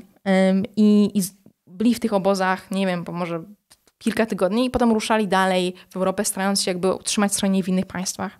Natomiast teraz po, po wejściu jakby dyrektywy, dyrektywy zamykającej te szlaki morskie, obozy zamieniły się w de facto więzienia. To znaczy, że wszystkie osoby, które dostają się do tych obozów, nie mają tak naprawdę normalnej ścieżki aplikacji o azyl, która jest rozpatrzona w jakimś tam um, rozsądnym okresie czasu, tylko po prostu są skazani na to, że siedzą w tym obozie przez rok, przez dwa lata. Co oznacza, że osoby, które na początku miały nadzieję, ta, ta nadzieja w nich umiera, tak? Mieszkają w absolutnie nieludzkich warunkach, w nieludzkich warunkach sanitarnych, higienicznych, bez dostępu do psychologa, lekarza, prawnika, tak? Nie wiedząc, jakie są ich prawa, tak naprawdę, jakie są ich przywileje jako uchodźców. I teraz dochodzi do strajków głodowych, dochodzi do, samo, do samopodpaleń, tak? Do, do po prostu samobójstw w geście, w geście rozpaczy, w geście zwrócenia uwagi na, na ich los. Więc wydaje mi się, że teraz tak naprawdę ta pomoc, która jest potrzebna, musi być e, jakby dużo bardziej profesjonalna, czyli naprawdę potrzebują psychologów, prawników, lekarzy, profesjonalnych humanitarystów. E, natomiast osób, które są gotowe na to, żeby spotkać się z człowiekiem, który cierpi i to po prostu cierpi przez długi czas, który ma myśli suicydalne, tak? I to nie było tak, jak ja, jak ja zaczynałam, tak? Wtedy było, było trochę inaczej po prostu. Strasznie się o tym rozmawia, Ola. Strasznie się tego słucha. Ja sobie nawet nie potrafię wyobrazić, co ty tam y, przeżyłaś. Pytań, które mi się rodzą, jest po prostu od groma i ciut, ciut. Y, pierwsze pytanie, takie naj, najbardziej nasuwające się, to jest tak. Y, próbuję się postawić w roli rodzica 21-letniej dziewczyny, która niby jest pełnoletnia, ale podejmuje decyzję, niby, no jest, tak, ale podejmuje decyzję, że jedzie w takie ekstremalne miejsce. I teraz zastanawiam się, kiedy twoi rodzice się dowiedzieli o tym, że ty tam jedziesz. I jak zareagowali? Um, więc e, moi rodzice chyba wiedzieli dosyć wcześnie, czyli wiedzieli mniej więcej w tym okresie czasu, w którym ja wiedziałam, czyli może jakieś pięć dni przed moim lotem tak naprawdę, okay. w tym momencie, w którym rzeczywiście zdecydowałam, zdecydowałam dosyć spontanicznie. Natomiast oni też nie zdawali sobie sprawy z tego, co tam się dzieje. Ze skali. Mhm. Nikt, absolutnie. Ze skali tego i też e, no, filtrowałam im te informacje na pewno, nie chcąc, żeby się nie martwili i też e, wtedy jeszcze, nie znając procedur bezpieczeństwa, nie wiedząc, jak o siebie zadbać w takich sytuacjach, nie wiedząc, co sprawić, żeby, żeby na pewno nie doprowadzić jakby do wypalenia, tak, żebym była i, i zdrowa psychicznie, i fizycznie, to wtedy narażałam się na pewne sytuacje, na które bym nie, nie pozwoliła sobie teraz, tak? Czyli mhm. rzeczywiście na, na pracę na bez wytchnienia, na, nie wiem, w, na nocną pracę w, w, obozie jako właściwie samotna kobieta, tak? Gdzie, gdzie rzeczywiście te sytuacje Różne były ryzyka tak? grożą i zagrożenia, nie? No. Natomiast no, teraz już z perspektywy czasu, z perspektywy jakby czterech lat mojej pracy, już muszę powiedzieć, że mimo tego, że moi rodzice bardzo cierpią nadal z powodu moich wyborów życiowych i na pewno jest to dla nich ekstremalnie trudne, to pewnie już to się stało jakąś tam rutyną, chociaż też zadaję pytanie sobie, czy, czy kiedykolwiek może być dla ciebie rutyną to na przykład, że, że nie wiem, zrzucasz się na, na kamizelkę kuloodporną dla twojego dziecka, tak? I nagle y, orientujesz się, że nie ma czegoś takiego jak kuloodporna kamizelka, po polsku nie ma takiego odpowiednika, takiego słowa, ale jakby kamizelki nie są bulletproof, tylko bullet resistant, co oznacza, że um, istnieją różne wkłady balistyczne w kamizelki. Są cztery poziomy takich wkładów i mhm. nawet ten najwyższy jest w stanie cię ochronić prawdopodobnie przed pociskami z pistoletu, z rewolweru, ale nie z karabinu maszynowego, tak? Nie od eksplozji bomby. Mhm. To zależy od, od, od typu pocisku, od szybkości, z jaką jest wystrzeliwany, tak? Więc e, nawet to, że jakby mierzyłam się tak i razem z tatą, tak żeby, żeby zamówić sobie kamizelkę, na pewno gdzieś tam dla nich było traumatycznym doświadczeniem. E, I, i na pewno do tego, do tego stopnia uważają, że to, że 10 razy wyszłam z sytuacji bez szwanku, z takich sytuacji, w których nie do końca powinnam wyjść bez szwanku, pewnie dramatycznie zmniejsza moje szanse na to, że po raz jedenasty wyjdę z takiej sytuacji bezpiecznie. I teraz, jak e, jeżeli rodzice słuchają tego podcastu mojego, to prawdopodobnie już jest, e, już jestem w Jemenie. I, chcę powiedzieć po prostu wam, że mam mój tato, że, że pewnie nie jest mi łatwo, ale, ale na pewno na pewno z wami tęsknię, myślę o was każdego dnia.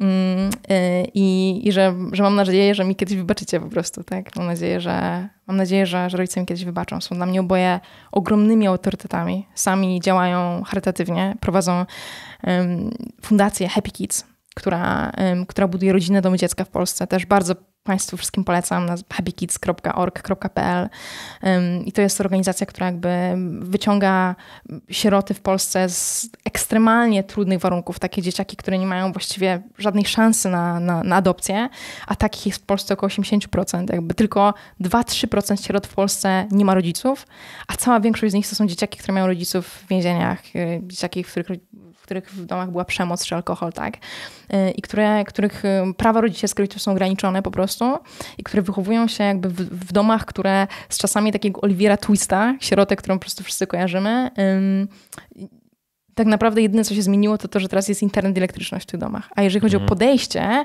jeżeli chodzi o, o pieczę zastępczą do takiego dziecka, to się one w ogóle nie, nie, nie zmieniło, więc mamy w dalszym ciągu ogromne domy dziecka, brzydko nazywane w Polsce bidule po prostu, publiczne domy dziecka, w których jest po 60 dzieciaków w różnym wieku, od, od 2-3 latków po 18-latki, tak?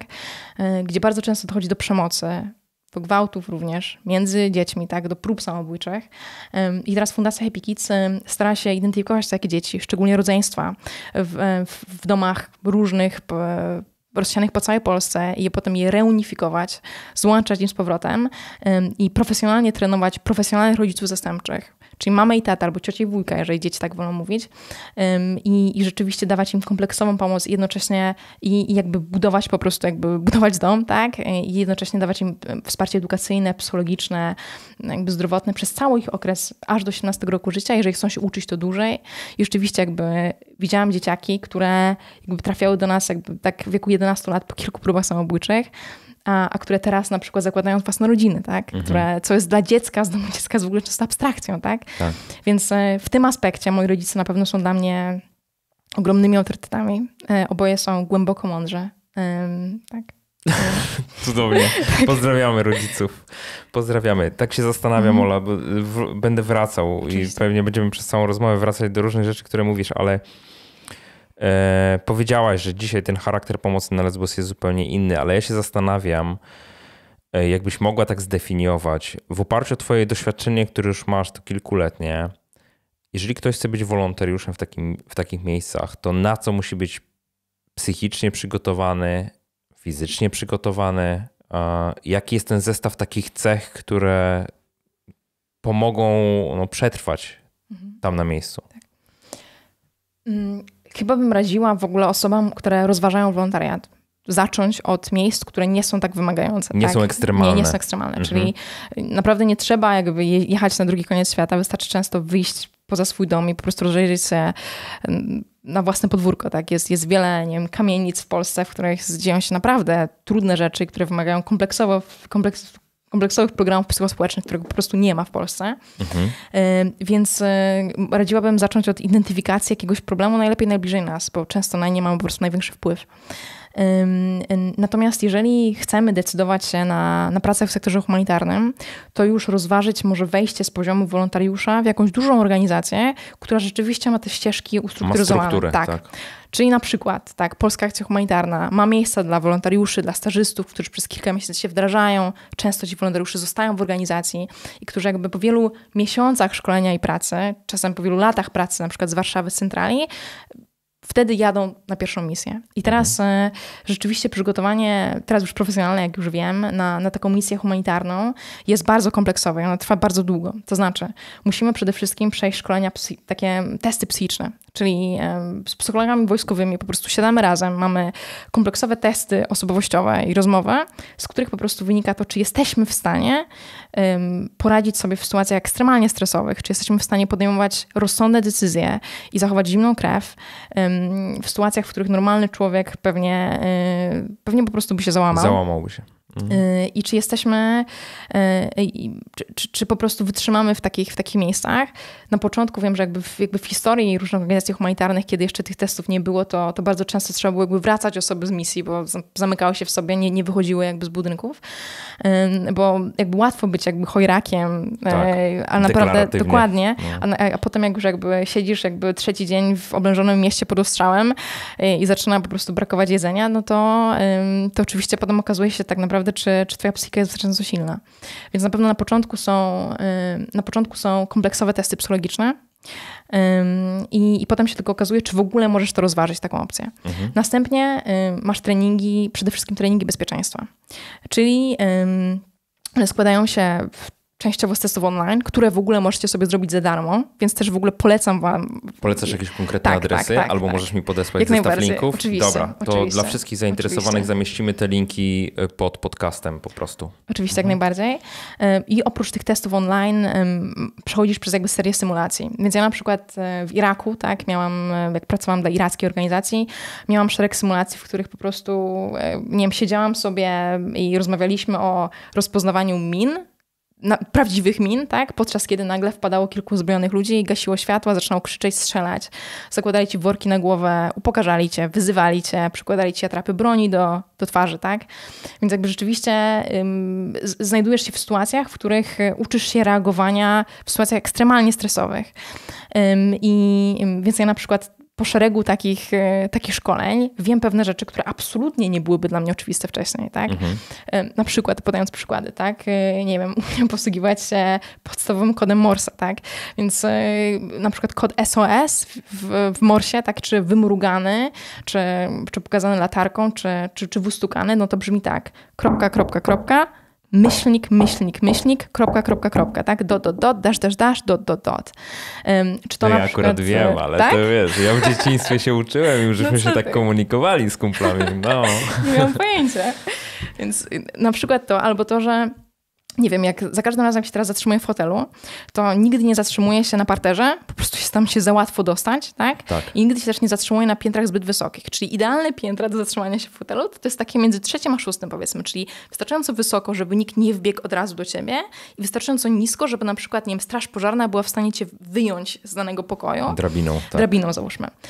Albo na przykład to, że nie wiem, nigdy nie zostawiam w hotelu prośby o to, żeby ktoś posprzątał mój pokój, tak? Nie chcę po prostu, żeby ktoś wszedł do mojego pokoju i wręcz do tego stopnia, że nie wiem, wkłada się na przykład wykałaczkę w drzwi po mhm. twoim wyjściu. Po Jeżeli ona spadnie, no to tak. wiesz po prostu, że ktoś wszedł do środka.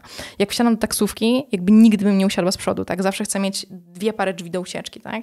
Mhm. I też e, to są takie rzeczy może bardziej użytkowe, ale są pewne rzeczy jakby totalnie nieużytkowe, natomiast które są normalnością jakby w świecie w strefy wojennych, czyli na przykład to, że przed wyjazdem samochodem gdziekolwiek sprawdza się lustrami e, spód samochodu, żeby sprawdzić, czy nikt się nie podłożył ładunku wybuchowego, tak? Mhm. Albo to na przykład, że jeżeli będą Państwo kiedyś musieli na przykład uruchomić sygnały dymne, załóżmy w jakiejś sytuacji, no to robi się to trójkami. Wszystkie w ogóle systemy wywołania o pomoc są trójkami Mayday, Mayday, Mayday, Emergency, Emergency, Emergency, tak potrójne SOS. Jeżeli chodzi o sygnały dymne, to staramy się, żeby ten sygnał dymny był w innym kolorze niż nasze otoczenie, czyli na przykład, jeżeli chcemy wywołać biały dym, to ten biały dym wychodzi z mieszanki zielonych liści, muchu i wody, podczas kiedy na przykład jeżeli chcemy wywołać czarny dym, to będzie to na przykład guma albo ubrania nasiągnięte ropą, tak? Więc e, ta wiedza pewnie mi się do niczego nie przyda, tak? Natomiast oby. Y, mam nadzieję, oby. Natomiast są to są pewne rzeczy, które po prostu uczysz się w takich treningach. Na przykład wiesz, że większość ludzi porwanych, jeżeli ginie, to ginie w ciągu pierwszych 45 minut, po prostu się szamocze, tak? Po prostu y, atakuje i sprawca, który jest bardzo zestresowany też w momencie, w którym ciebie po prostu stara się porwać, po prostu bardzo często cię strzela, tak? W takiej sytuacji. Więc y, jeżeli ktoś cię porywa, poddajesz się, tak? Po prostu spełniasz, spełniasz te życzenia swojego, swojego porywacza, co jest, no, mam nadzieję, nigdy, że nigdy, nigdy absolutnie nie, nie, nie znajdę się w takiej sytuacji. I też to, że jestem kobietą na pewno, nadaje inny zupełnie poziom kompleksowości, jeżeli chodzi o takie wyzwania. Mhm. Są jakieś takie specjalne zalecenia dla kobiet? Tak, tak, zdecydowanie. Y, I wiesz, no w ogóle bycie kobietą, w, jeżeli chodzi w, w, taki, w tym sektorze i w, w strefie wojennej, sprawia, że no tak naprawdę najlepszą rzeczą, która może ci się zdarzyć w sytuacji zagrożenia życia, pewnie. No to jest po prostu chyba śmierć na miejscu, czy, czy wypadek. Śmierć. To jest szybka śmierć po prostu. Tak, oczywiście sytuacje, których najbardziej bym się bała, tak. Natomiast mamy plany bezpieczeństwa, które nie doprowadzają mnie do takiej sytuacji, ale których najbardziej bym się bała, no to oczywiście sytuacja porwanie, przetrzymywanie, handel ludźmi, przemoc seksualna. I rzeczywiście jako kobieta na przykład w świecie, w świecie, w miejscach, w których pracuję, czyli w świecie arabskim, tak, e, muszę przede wszystkim jakby szanować kulturę lokalną, czyli muszę się odpowiednio ubierać, tak, czyli sytuacja, w której siedzę sobie w t-shircie i widać moje ramiona jest po prostu absolutnie niedopuszczalna, tak, więc z reguły mam na sobie abaję, czyli szatę aż do ziemi, tak, hijab, czyli szatę, która zasłania moje włosy, która jest kultura, jakby szatę, która zasłania moje włosy, tak, i czasem jeszcze nawet niqab, która zasłania całą moją twarz, tak że mhm. widać tylko moje oczy. I to nie jest, chciałam tylko podkreślić, że to nie jest jakby religijne, to jest kulturalne. Jakby to wynika jakby z, jakby z, z, jakby z kultury danego miejsca, czyli na przykład no, w większości jest stosowane na przykład w Arabii Saudyjskiej, czasem w Jemenie, ale na przykład nie wiem, w Iraku, czy w Jordanii, czy, czy, czy w Limanie takich rzeczy się nie robi. Tak? Po mhm. prostu nie musisz być do tego stopnia zakryty. I pewnie kolejne rzeczy to um, to, że um, no, staram się właściwie w żadne miejsca nie chodzić sama. Tak? Jeżeli jestem w stanie sobie na to pozwolić. Tak? Um, teraz jakby w Jemenie sytuacja wygląda tak, że rzeczywiście mam, zawsze poruszam się z kierowcą, nigdy nie poruszam się sama. W miejscach publicznych mam tylko 15 minut w danym miejscu, na które mogę sobie pozwolić. I także jakby zdaję sobie sprawę z tego, że mimo wszystko jakby samotna kobieta prowadząca jakieś działania w, w, w takich państwach jak Jemen jest sytuacją generalnie dosyć sztuczną. I, i, I, trzeba brać wszystkie środki bezpieczeństwa i środki bezpieczności. Natomiast każda sytuacja profesjonalna organizacja humanitarna ma swoje plany bezpieczeństwa, ma osoby, które są odpowiedzialne za to bezpieczeństwo, które mają wieloletnie doświadczenie, czy wojskowe, czy policyjne, czy, um, i, i, które po prostu tworzą, um, tworzą ci plany, na które których trzeba po prostu przestrzegać. Procedury postępowania. Procedury, które są święte mhm. po prostu, tak. Dokładnie tak. Które są bardzo ważne. Tak. Dokładnie tak. Właśnie no, przeszliśmy tak płynnie do tego um, pytania, które chciałem zadać o bezpieczeństwo i to kto rzeczywiście jest odpowiedzialny za dbanie o bezpieczeństwo. I rozbiłbym tutaj to na dwie sytuacje, bo z jednej strony mówiliśmy o tym wolontariacie, w którym byłaś na Lesbos, gdzie wszystko było tak, no, chciałem powiedzieć grzecznie, słabo zorganizowane, ale po prostu panował chaos, jak sama powiedziałaś, więc mogę to zacytować. E, I to jest jedno miejsce. W jaki sposób tam wyglądało zapewnianie bezpieczeństwa? Czy w ogóle myślano o tym, e, zastanawiano się nad tym, czy ktoś był za to odpowiedzialny, czy na przykład ty musiałaś je zapewnić sobie we własnym zakresie, nie posiadając wiedzy de facto, ani nie będąc przeszkolona w tym zakresie. A z drugiej strony no, mamy ten drugi biegun, o którym już trochę wspomniałaś, czyli profesjonalne organizacje humanitarne, w których pracują eksperci, czy, czy na zlecenie są zatrudnieni eksperci, którzy takie procedury tworzą. Ale może najpierw ten pierwszy przypadek, czyli taki wolontariat trochę spontaniczny i na przykładzie Lesbos, jak to wtedy wyglądało, jeżeli chodzi o bezpieczeństwo. Więc wtedy, ponieważ nawet nie byłam związana z żadną organizacją, byłam po prostu wolontariuszką niezrzeszoną, nie byłam obecna w żadnej strukturze, więc tak naprawdę nie miałam żadnych procedur bezpieczeństwa przy sobie, e, co sprawiło, że kilkukrotnie znalazłam się w sytuacji, z której pewnie proste zasady bezpieczeństwa, którą przestrzegałam i opieka eksperta pozwoliłaby mi na, e, na uniknięcie ich. Raz znalazłam się w sytuacji, w której nocą pracowałam na czymś, co się nazywało Afgańskie Wzgórze, poza obozem, gdzie spali uchodźcy z Afganistanu. I teraz, ponieważ jakby uchodźcy syryjscy w tym systemie procesowania aplikacji o azyl mieli priorytet, ze względu na to, że w Syrii jakby toczy się straszliwa wojna, to mimo to, że w Afganistanie również toczy się wieloletnia wojna, no tam ci po prostu um, nie byli tak priorytetowo traktowani i, i mieli spać poza obozem. Więc mhm. było ich e, tysiące ludzi, i policja, policja grecka stosowała po prostu bardzo, bardzo niskie sabotaże. Mianowicie na przykład mówiła im, że, że mogą tak naprawdę zarejestrować się o ten azyl, a w momencie, w którym szli na tą rozmowę o, o azyl, to ich aresztowano, tak? Więc jakby... Okay. Pod pretekstem pewnie opuszczania dokładnie, obozu. Dokładnie, czy... dokładnie. Mhm. Więc i, i, i wywożono, tak? I, um, więc ci ludzie byli bardzo sfrustrowani um, i było... Um, I w nocy rzeczywiście przechodziłam przez tą część obozu I w tym momencie zauważyłam dwójkę osób, która wchodzi w bójkę. Dwójkę mhm. między sobą, tak? Mhm. E, jedna osoba podniosła wielki kamień i ogromny głaz i po prostu zamachnęła się na drugą osobę. ja w tamtym momencie zrobiłam coś, czego absolutnie nie wolno robić. Natomiast no, w tamtym momencie to było dla mnie po prostu pierwsza, pierwsza reakcja, mój impuls. Mianowicie wbiegłam między tych dwóch ludzi i po prostu zasłoniłam osobę własnym ciałem. Dlatego po prostu wiedziałam, że jeżeli stanie się krzywda, to policja grecka przyjdzie i tak zbije tych ludzi po prostu. Dojdzie do takiej przemocy, że po prostu z takiej zwyczajnej troski o, o, o tam byt drugiego człowieka nie chciałam, żeby sytuacja eskalowała. Więc y, stanęłam między nimi i w tym momencie z całego wzgórza zaczęli po prostu zwoływać się ludzie i cała chmara ludzi zaczęła biec w moim kierunku po to, żeby rozdzielić te dwie osoby, y, żeby ja była bezpieczna. Ja byłam mhm. wolontariuszką, miałam na sobie fluorescencyjną kurtkę, było wiadomo, kim jestem i było też wiadomo, że jak, okay, jak im się stanie krzywda, to jest nam pobicie, a jak nie daj Boże, mi się stanie krzywda, to, będzie to nie, nie wiadomo, jak tak, będzie, tak? tak? Więc tak. jakby wszyscy ich rozdzielili.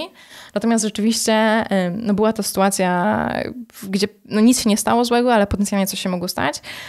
Byłam też w dwóch innych sytuacjach, w których również nie, nie, nie czułam się bezpiecznie, natomiast no, to wynikało niestety z, z mężczyzn, którzy pracowali albo jako inni wolontariusze, albo inni profesjonalni humanitaryści w innych organizacjach, ale ponieważ ja byłam wolontariuszką niezrzeszoną, to, to wydawało mi się, że mogą sobie po prostu pozwolić na więcej. I teraz dzięki Bogu nic nigdy się nie wydarzyło. Natomiast e, na pewno nie miałam wtedy takiej umiejętności jakby rozpoznania pewnych ryzyk. Zagrożenia. Dokładnie, mhm. rozpoznania zagrożenia i, i robienia wszystkiego, co w mojej mocy, żeby je zmniejszyć. Co w mhm. tym momencie jest dla mnie rzeczą absolutnie oczywistą. Okej, okay, jasne. Dobra, to teraz y, powiedziałaś, że działałaś w, też w takim, no w Mosulu byłaś, tak? W trakcie de facto wojny.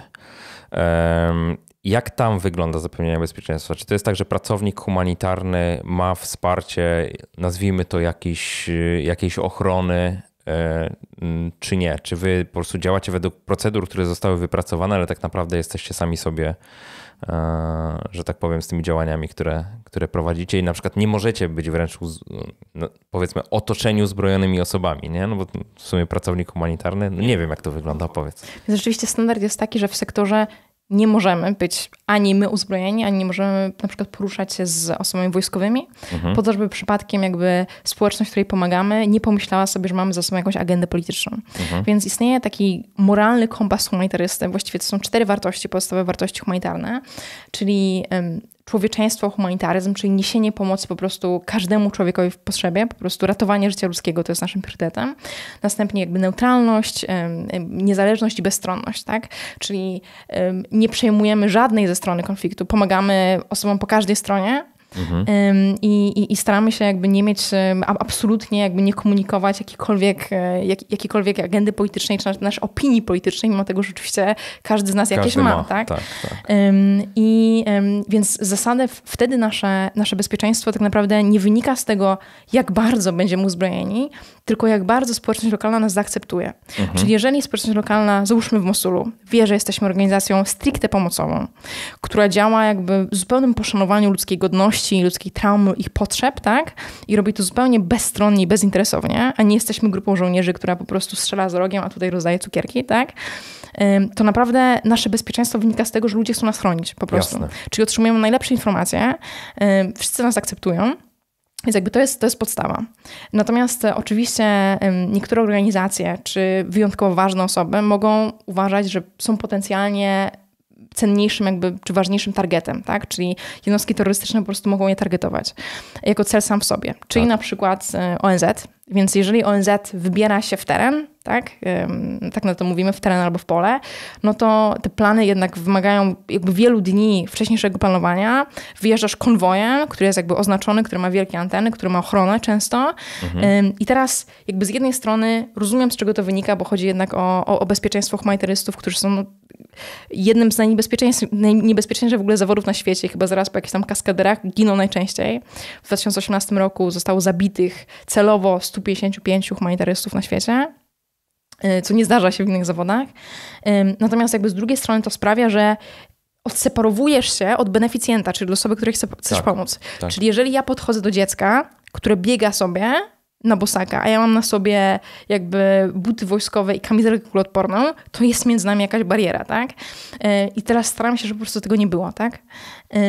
I więc ja pracowałam w Iraku z organizacją irakijską, iracką, i zrobiłam to z tego względu, że w 2017 roku podczas bitwy o Mosul wyruszyłam tam jako pracowniczka ONZ-u. Miałam na sobie jakby duże ograniczenia bezpieczeństwa y, i wtedy tak naprawdę moim zadaniem było przebywanie w północnym Iraku, czyli de facto w Kurdystanie, w irackim Kurdystanie i zbieranie informacji na temat referendum o wolność, o niepodległość. Więc wtedy właśnie Kurdowie chcieli się uniezależnić od Iraku, co próbują zrobić od wielu lat i co zawsze się nie udaje. Natomiast no, de facto tak naprawdę moim prawdziwym celem mojej misji, e, takim trochę samozwańczym wtedy, to było przedostanie się do Mosulu, który znajdował się 64 km od irackiego Kurdystanu, od Erbil e, i, i zdania raportu z przemocy i z traktowania cywili e, przez wojska, które odbijały, odbijały miasto po prostu. Więc dochodziły do nas informacje o tym, że ludność cywilna jest posądzana o, o bycie terrorystami po prostu, związek z ISIS, że ludzie są zrzucani z budynków, że dochodzi do trzechminutowych sądów i potem egzekucji, że odkrywają masowe mogiły. Mhm. Po prostu zbrodnie dokonywane przez, przez, przez wojsko irackie i niestety przez jakby koalicję międzynarodową, która bombardowała miasto z powietrza.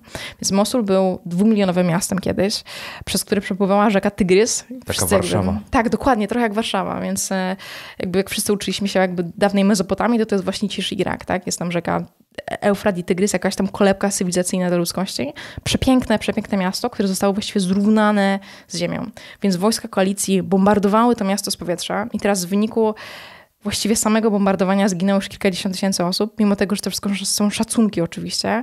Jakby do, do dziś jakby wyciągane są ciała spod ruin, a wojska irackie wchodziły po prostu e, czołgami i opacerz, opacerzonowymi wozami, tak zwanymi Humvees do miasta i to była tak naprawdę walka ulica po ulicy, tak, z, z ISIS.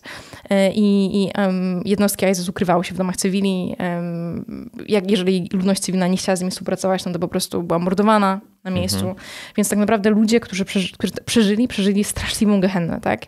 I częstokroć mieli przed sobą tylko taki wybór, że albo zostajemy w mieście i giniemy od bombardowań, od, od bomb koalicji zachodniej, tak? Albo giniemy po prostu w ostrzale w, od wojsk irackich, albo staramy się uciec, tak? I jednocześnie ryzykujemy śmierć po prostu, tak? Oczywiście.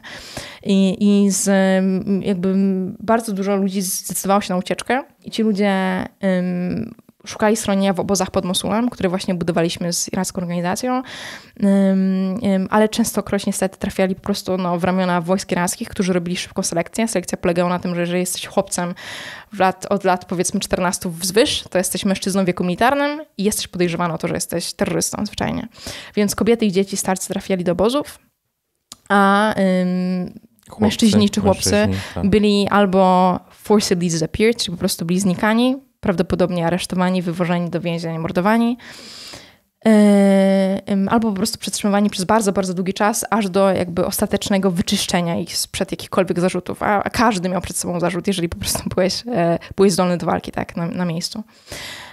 I teraz e, wojska odbijające w ogóle Mosul od, od ISIS to były wojska szyickie. I teraz to jest bardzo ważny rozdział w ogóle w tym świecie arabskim na, na szyitów i sunitów, którzy jakby tak naprawdę podzielili się o, o jeszcze jakby w, w czasach y, po śmierci proroka Mohameda o, o tak naprawdę kto zostanie jego, e, jego, jego właściwym, właściwym jakby kolejnym jakby successor, następcą, tak? Następcą, tak, następcą. dokładnie, następcą, mhm. tak.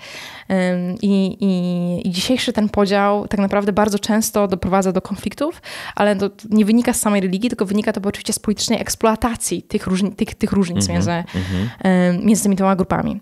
Więc jakby wojska, które odbijały Mosul, to były wojska szyickie. Podczas kiedy ludzie, którzy mieszkali w, Mos w Mosulu, w Moslawis, to są sunici. Mhm. I teraz um, ISIS, samozwańcze państwo islamskie. Mówię samozwańcze dlatego, bo ono nie ma ani żadnego związku z państwem, ani z islamem, bo mamy miliony ludzi, muzułmanów na świecie, którzy oczywiście żyje pokojowo. Przez to tak naprawdę wojska irackie i rząd iracki, który był szyicki, trochę um, oskarżał tych ludzi o, o to, co się wydarzyło. Mhm. Więc tak naprawdę przy odbijaniu w ogóle nie mieli, nie mieli, e, nie mieli empatii, jeżeli chodzi o, o, o wolność i dobro tych ludzi. Tak, a teraz z perspektywy czasu to po prostu to miasto zostało wyzwolone, natomiast jest absolutnie niezdolne do, e, do jakiegokolwiek życia, do jakiegokolwiek życia. Infrastruktura została zupełnie zniszczona. W dalszym ciągu mamy jakby zwęglone, spalone od słońca ciała pod, e, w ruinach Mosulu i ludzi, którzy po prostu żyją na piachu, na pustyniach, w wielkich przydnionych obozach.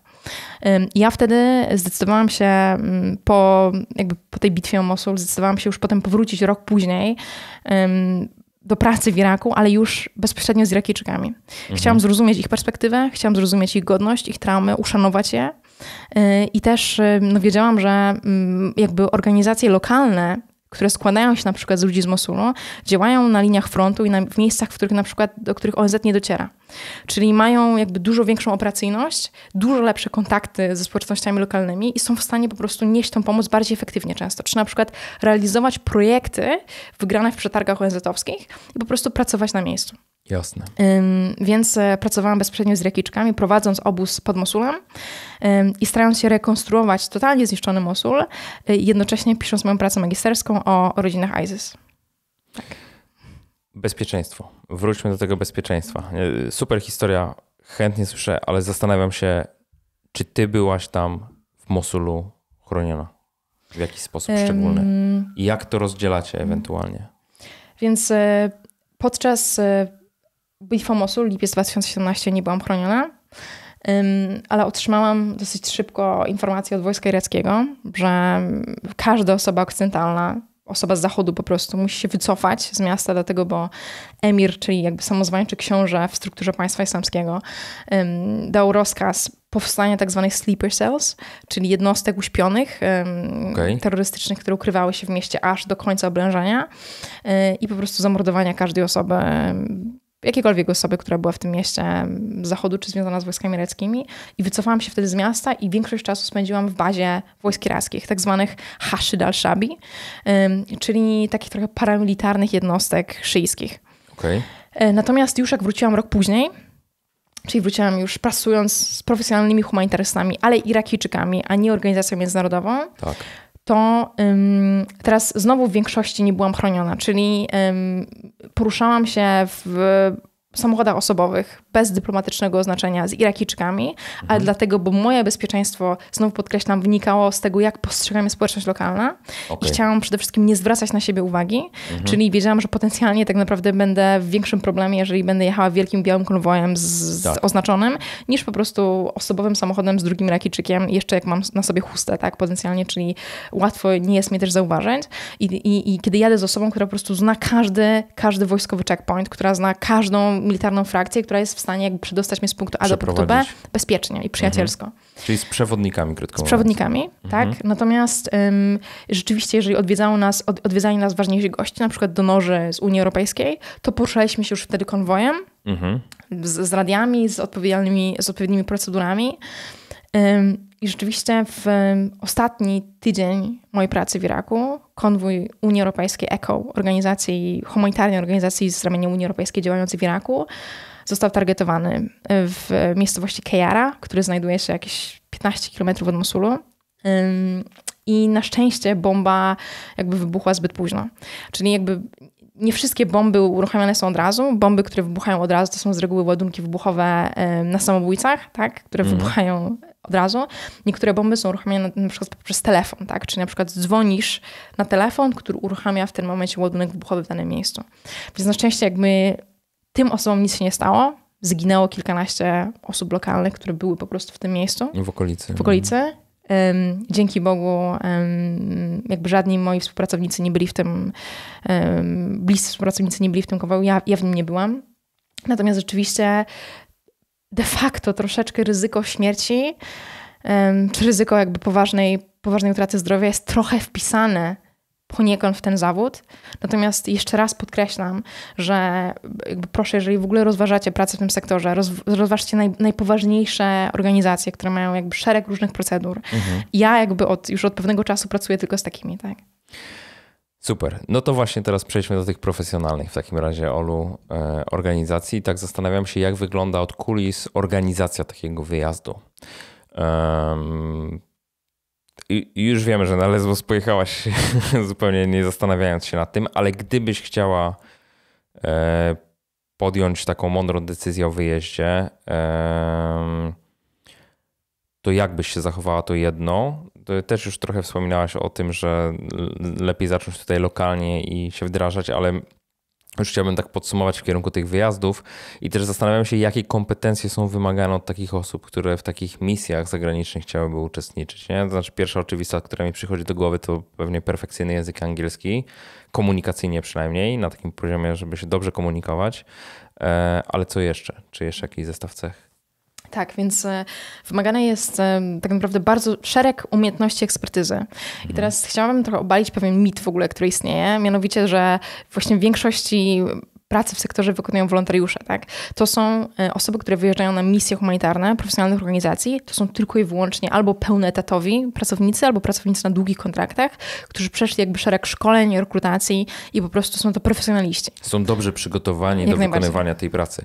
E, co to znaczy długi mhm. kontrakt w kontekście organizacji humanitarnych? Więc e, w ogóle w tym sektorze istnieje bardzo wysoki jakby turnover, mhm. więc rotacja w ogóle ludzi między różnymi organizacjami, ze względu na to po prostu, że czasem jakby kataklizm uderzy tu, czasem tam. Organizacje jakby specjalizują się w różnych, e, w, różnych mają różne obszary ekspertyzy i często czasem misja, no nie wiem, jest zamykana, na przykład burz, pomoc tu jest niepotrzebna w tym miejscu. Tak. Więc też jakby rzeczywiście w porównaniu z innymi zawodami, jeżeli spojrzy się na CV przeciętnego humanitarysty, no to po prostu rzeczywiście masz tam, nie wiem, trzy miesiące w Kongo, sześć miesięcy w Djibouti, osiem w Malawi, co nie zdarza się oczywiście w żadnym innym zawodzie, tak? Więc jak, jeżeli mówię o długim kontrakcie, no to pewnie mam na myśli, no powiedzmy, rok. Rok to jest długi kontrakt, tak. Mhm. Natomiast oczywiście są ludzie, którzy, którzy pracują tylko w, w systemie reagowania natychmiastowego, tak zwanego emergency response. I oni pracują rzeczywiście w, tylko w perspektywach kilku miesięcy. Mhm. Na przykład, jeżeli chodzi o, o katastrofę naturalną. Teraz ja nie specjalizuję się katastrofach naturalnych, mnie, mnie bardziej interesują wojny. Natomiast rzeczywiście, jeżeli chodzi o na przykład o tsunami, tak, e, czy, czy, czy jakąś suszę nagłą, to są ludzie, którzy są po prostu, um, są na tak zwanych roosters, czyli w takich bazach danych organizacji, którzy już mają odpowiednią ekspertyzę, którzy są w stanie wjechać w dane miejsce, na przykład z 48-godzinnym wyprzedzeniem. Czyli właściwie spakowani są cały czas.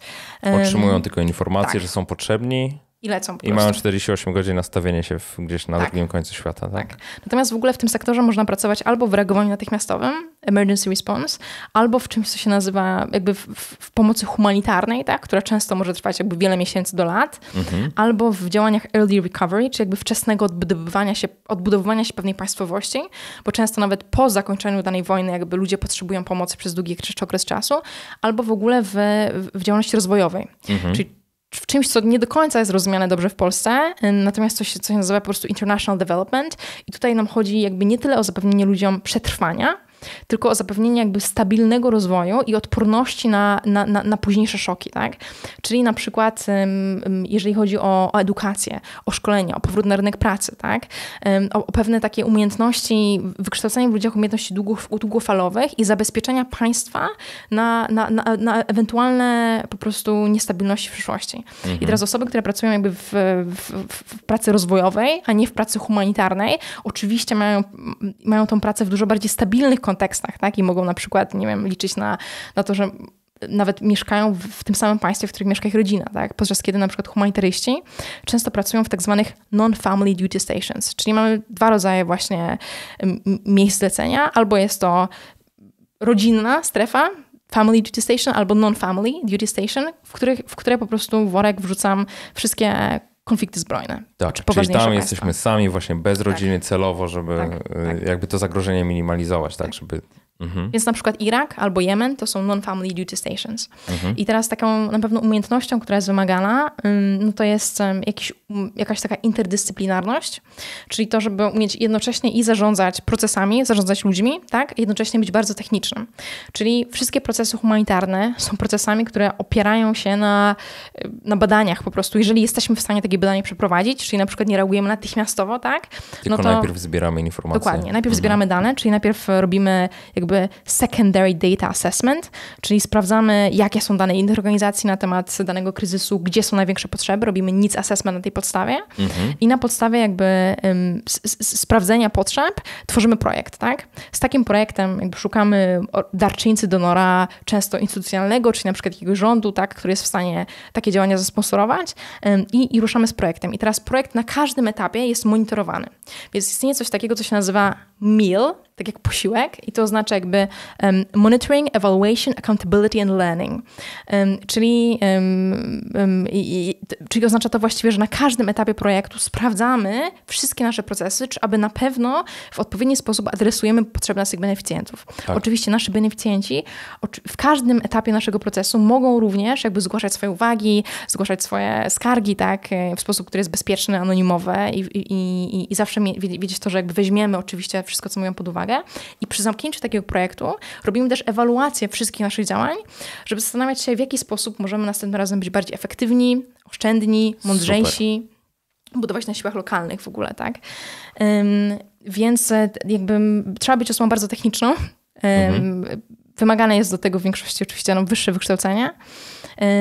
Natomiast, e, no, tak jak w Polsce w ogóle jest to sektor często nierozumiany, mimo tego, że mamy organizacje takie jak PACH, tak jak PCPM i te organizacje tak naprawdę często jakby szkolą ludzi od, od bardzo wczesnego poziomu. Więc ja, ja weszłam jakby w PACH z rynku pracy, tak?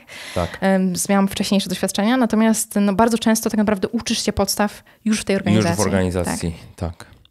E, dwa kolejne pytania mi się e, nasuwają. E, teraz, żebym się nie poplątał, to się dobrze zastanowię, które zadać w pierwszej kolejności tak się zastanawiam, bo mm, opisywałaś mi mm, ten swój dzień pracy na Lesbos, nazwijmy to, który, którego nie kontrolowałaś, bo dawałaś całą siebie, tak? I sama mówiłaś, że zawalałaś sen i tak dalej, e, wracałaś, padałaś i tak dalej. I teraz zastanawiam się, na ile w przypadku pracownika humanitarnego, który już jest profesjonalistą, ten dzień jest ustrukturyzowany czy na przykład jest tak, że ktoś dba o to, żeby pracownik humanitarny był osobą wypoczętą, trochę jak z kierowcami, tak? tak? Którzy mają konkretne przepisy, że na ileś tam godzin jazdy muszą mieć ileś tam czasu odpoczynku, właśnie po to, żeby jak już jadą, to żeby mieli tą full uwagi, a nie dekoncentrowali się. To czy w przypadku pracowników humanitarnych coś takiego istnieje? Taki zestaw, nazwijmy to, czy to procedur, czy właśnie jakaś kontrola wewnętrzna, czy przypadkiem pracownicy się nadmiernie nie eksploatują, czy też to jest w gestii e, każdej osoby indywidualnie? Jak to wygląda? Jak najbardziej takie standardy w sektorze są, więc istnieje taka standardowa procedura, która nazywa się R on R, czyli R i R po prostu. I ona mhm. oznacza rest and recuperation, czy po prostu odpoczynek. Więc jeżeli pracujesz w strefie ekstremalnie trudnej, są trudne warunki budowe, jesteś z daleka od swoich bliskich, z daleka od swojej rodziny, to mniej więcej powiedzmy co 6 tygodni masz obowiązek wyjechania z danego państwa na przymusowy urlop, załóżmy pięciodniowy, tak? Mhm. Więc na pewno sektor zdaje sobie sprawę z tego, że ludzie po prostu, którzy pracują w takim charakterze, dają z siebie bardzo dużo i często idą do pracy i tak naprawdę wracają spać z powrotem do pracy, dlatego, bo często, nie wiem, biuro i, i, i, i, i, miejsce życia to jest w tym samym budynku albo w budynku naprzeciwko. Ze względu na bezpieczeństwo po prostu nigdzie nie wychodzisz ym, albo bardzo masz ograniczoną tą swoją mobilność, przez co musisz po prostu wydostać się na jakiś czas, żeby zobaczyć, jak naprawdę funkcjonuje normalny świat, zobaczyć swoich bliskich, Odkleić naładować się się energią. rze- Dokładnie, dokładnie. I też jakby gdybyśmy zostali dużo dłużej, to też zauważyłam taką, taką skłonność do, do pewnej apatii, tak? Czyli w momencie, w którym jakby przechodzisz, załóżmy, nie wiem, 60 dzień z rzędu, obok dzieciaka, który ma urwane nogi, bo wpadł na minę, tak?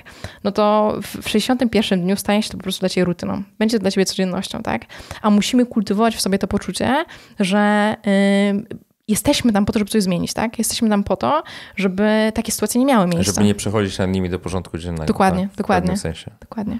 Dlatego jest to tak ważne, żeby po prostu co jakiś czas wyjechać z takiego Iraku, załóżmy, i po prostu zobaczyć swoich bliskich i się odstresować i, i żeby potem wrócić e, z trochę świeżym spojrzeniem.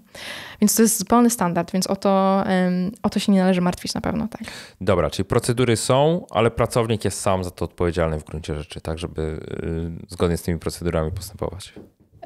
To znaczy, są, są często osoby, na przykład podam na przykładzie Polskiej Akcji Humanitarnej, tak?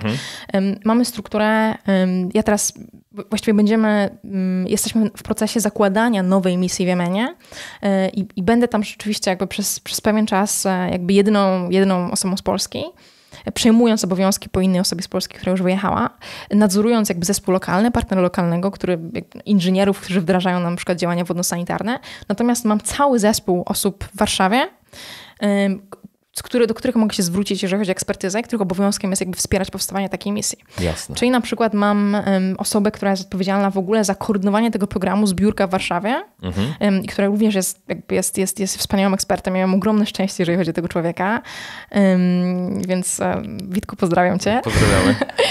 E, I więc jakby na pewno nie jesteśmy pozostawieni sami sobie. Oprócz tego, jakby w razie czego w sektorze też normą jest, że gdybyśmy potrzebowali jakiegokolwiek wsparcia psychologicznego, tak, to oczywiście ten psycholog jest często przez Skype'a na przykład, natomiast ta, ta pomoc jest. Więc na pewno zdajemy sobie sprawę, że jeżeli my chcemy efektywnie nieść pomoc innym, najpierw sami musimy być zdrowi i stabilni. Tak? Dokładnie tak. Dokładnie tak. Dobra, to to był ten jeden wątek. A ten drugi wątek, y, który mi chodził po głowie, to są zarobki. To znaczy, zastanawiam się, no znowu, wolontariusz pracuje za darmo, E, ale czy wolontariusz jadący na przykład na Lesbos, trochę wspominałaś o tym, może liczyć na jakiś zwrot kosztów albo ewentualnie co jest y, y, zapewnione, nazwijmy to, tak? Czy, czy, czy na przykład, czy wyżywienie jest zapewnione dla wolontariusza na miejscu, czy on się musi odtroszczyć sam? Jak to wygląda w praktyce? Więc jak najbardziej. Jak, jeżeli chcemy na przykład wjechać na Lesbos i skierujemy się na tą grupę, którą już poleciłam, do której link e, prześlemy, to mamy listę organizacji, która dokładnie jakby mówi, jakich ludzi potrzebują i na, na jakich kontraktach ich po prostu zatrudniają, warunkach. na jakich Okej. warunkach. Czyli bardzo często wolontariusze jakby dzielą pokoje, dzielą akomodacje razem, y, albo się dzielą kosztami, albo organizacja za nich płaci. W większości chyba płaci i za, za akomodację, i za wyżywienie. Ym, I jakby wolontariusze poruszają się no, bardzo często razem na wyspie, także y, koszty z reguły są zwrócone. Tak bardzo często również koszty lotów.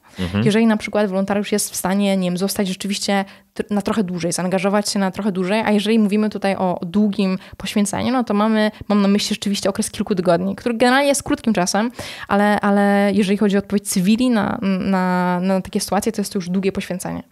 E, Więc jak najbardziej. Natomiast jeżeli chodzi w ogóle o, o stawki w sektorze humanitarnym, to są one bardzo różne, więc zależy to o, od organizacji. Jeżeli pracujesz z organizacją lokalną, na przykład, nie wiem, pracowałam z organizacją w Iraku, tak, no to są to, są to zarobki jakby w dalszym ciągu bardzo godne, Natomiast generalnie do tego sektora nie wchodzi się dla pieniędzy, tak? Więc jakby, jakby zacznijmy od tego, jeżeli ktoś, komuś jakby marzy się Wall Street i baseny, to jakby to zdecydowanie nie jest to, tak? Dobrze, Natomiast... to powiedziałaś. Chciałem, żebyś to powiedziała. tak, tak, nie, absolutnie, absolutnie. Jakby to nie jest, to nie jest jakby, to nie jest jakby życie, które jest glamour, tak? E, nie o to chodzi, natomiast rzeczywiście, jeżeli nawet ktoś by chciał w ten sektor iść dla pieniędzy, a są również pozycje, które są świetnie płatne, które są bardzo konkurencyjne, to pieniądze nie są wystarczająco silną motywacją, żeby w nim pozostać. Mhm. Po prostu to jest praca pełna wyzwań, czasem pełna wyrzeczeń, tak? Często z dala od twoich bliskich. E, więc jeżeli, jeżeli wchodzisz to dla kasy, to, to nie jest to dla ciebie. To idź do, do Goldman Sachs, do bankowości. Tak, dokładnie, tak, lepiej dokładnie. iść do biznesu pracować i, albo do finansów pracować, dużych tak. finansów. Tak. I, I, wtedy w finansach rób dobre rzeczy również, mianowicie jakby interesuj się wkładem sektora prywatnego, na przykład działalność humanitarną czy rozwojową. Tak? No jest... właśnie, no właśnie. Nie trzeba wcale być wolontariuszem bądź pracownikiem humanitarnym, można pomagać w inny sposób. Oczywiście, tak. Po prostu, nie? Natomiast e, rzeczywiście chciałam tylko podkreślić, że to nie jest praca za darmo, absolutnie. Mhm. I te warunki naprawdę pracy są bardzo dobre, szczególne szczególnie jeżeli jesteś na przykład pracownikiem misyjnym. Czyli w momencie, w którym ja wjeżdżam teraz na przykład z Warszawy, ale wcześniej mogłabym wjeżdżać na przykład nie wiem, z Nowego Jorku, z Genewy, z jakiejkolwiek centrali dużej humanitarnej mhm. na misję, to mam ilość dodatków. Mianowicie na przykład stały dodatek misyjny, dodatek za, dodatek za trudne warunki akomodacyjne, tak? Dodatek tak zwany hardship allowance za przebywanie po prostu w miejscu niebezpiecznym. Mhm. I to wszystko sumuje się mm, naprawdę w, w, w, bardzo jakby godne wynagrodzenie. E, natomiast też podkreślam to, że jesteśmy, w, że jesteśmy w miejscu takim jak Irak, to naprawdę nie ma wielu miejsc, w których może wydawać te pieniądze, tak? Więc jakby jakby siłą rzeczy to gdzieś tam oszczędzasz, tak? Um, tak, tak. No, dokładnie. Temat przewodni podcastu, więcej niż oszczędzanie pieniędzy, tak? Um, zastanawiam się, jakby, jakbyś miała tak mhm. podsumować plusy i minusy. Może zacznijmy od plusów, jakie daje praca jako pracownik humanitarny. Na pewno daje takie poczucie, że twoje działania mają sens. Że robisz coś, co ma sens. A ja od razu odbiję mhm. to. Nie, nie masz czasami czegoś takiego, że widzisz, jak niewielkie są Twoje działania w stosunku do skali potrzeb? Jak najbardziej, oczywiście. Oczywiście, na pewno nie jesteśmy nigdy w stanie pomóc wszystkim, tak? I, I, potrzeby są ogromne. Jeżeli chodzi na przykład o taki Jemen, tak? który ma 30 milionów mieszkańców, no to około 80% wymaga pomocy humanitarnej, tak? Około e, jakby 5 milionów dzieci w Jemenie głoduje, tak? 5 milionów dzieci to dla porównania to jest e, cała ludność Norwegii tak naprawdę, tak. Mhm. 85 tysięcy dzieci do tej pory umarło śmiercią głodową, tak. Więc e, te potrzeby są absolutnie ogromne. Natomiast staramy się tak zidentyfikować potrzeby i tak wykorzystać naszą ekspertyzę jako organizacja. Na przykład PACH specjalizuje się w działaniach wodnosanitarnych żeby rzeczywiście pomagać efektywnie w tych miejscach, w których jesteśmy w stanie pomóc. I rzeczywiście to nie jest tak, że cały kraj e, jest objęty wojną. Są takie strefy, w których rzeczywiście jesteśmy w stanie tą pomoc dostarczyć i utrzymać na długi czas. Natomiast jeżeli chodzi o, o takie pytania o sens, pytania bardziej w skali makro, może jakby odbiegając teraz od jakichkolwiek od organizacji, z których, tak. których pracuję, to rzeczywiście chciałabym, żebyście jakby wszyscy zdawali sobie sprawę z tego, że każdy kryzys humanitarny spowodowana przez człowieka, czy nie katastrofa naturalna, to jest tak naprawdę często, to, to jest kryzys militarny. Teraz każdy kryzys militarny to jest kryzys polityczny. I prawdziwe odpowiedzi są polityczne, tak? Prawdziwe odpowiedzi są wśród polityków. To są długie negocjacje pokojowe, tak? To są wielokrotne próby zawarcia pokojów. A teraz, co my jako humanitaryści robimy w międzyczasie, to jest nasz psi obowiązek jako ludzi, mam wrażenie, tak? Mhm. Czyli zapewnienie ludziom bezpieczeństwa w momencie, w którym państwowość upada, czyli państwo jako podstawowy podmiot, który ma obowiązek zapewnić człowiekowi bezpieczeństwo, nie jest w stanie tego zrobić. Wtedy społeczność międzynarodowa wchodzi i ma obowiązek to zrobić. I teraz podkreślam wtedy, że pomoc nie jest dobroczynnością, że pomoc jest prawem, tak? I to mówi na przykład Kofi Annan, były sekretarz ONZ. ONZ. Y, natomiast rzeczywiście te prawdziwe odpowiedzi są polityczne i często być może masz takie wrażenie, że starasz się zabandażować bardzo krwawiącą ranę, a ktoś cały czas do niej strzela, tak? Mhm. Ale teraz co masz zrobić? Czy masz się poddać? Wydaje mi się, że naszym obowiązkiem jest jakby dalej pomagać. Natomiast jakby historycznie, jak spojrzymy na przykład na, na ostatnie, nie wiem, 50 lat, tak? To wielokrotnie dochodziło do sytuacji, które pokazywały absurdy w ogóle pewnie całego sektora y, i, i, i, i pewnie, które jakby kwestionują pewnie um, sam, sam sens tych działań. Um, I teraz ja, ponieważ rzeczywiście moje jakby zboczenie akademickie to jest filozofia i e, więc bardzo często jakby kwestionuję, analizuję pewne rzeczy, których nie powinnam. Natomiast jakby teraz wracam pamięcią do sytuacji takich jak Ruanda, tak? Takich jak na przykład um, Goma, Srebrenica, czy to, co się dzieje dzisiaj w Syrii, tak? I widzę pewne pewne oczywistości, które wtedy z punktu widzenia natychmiastowych działań nie były oczywiste dla, dla pracowników humanitarnych i które doprowadziły do pewnie również niepotrzebnego rozlewu krwi. Mhm. I teraz co mam na myśli?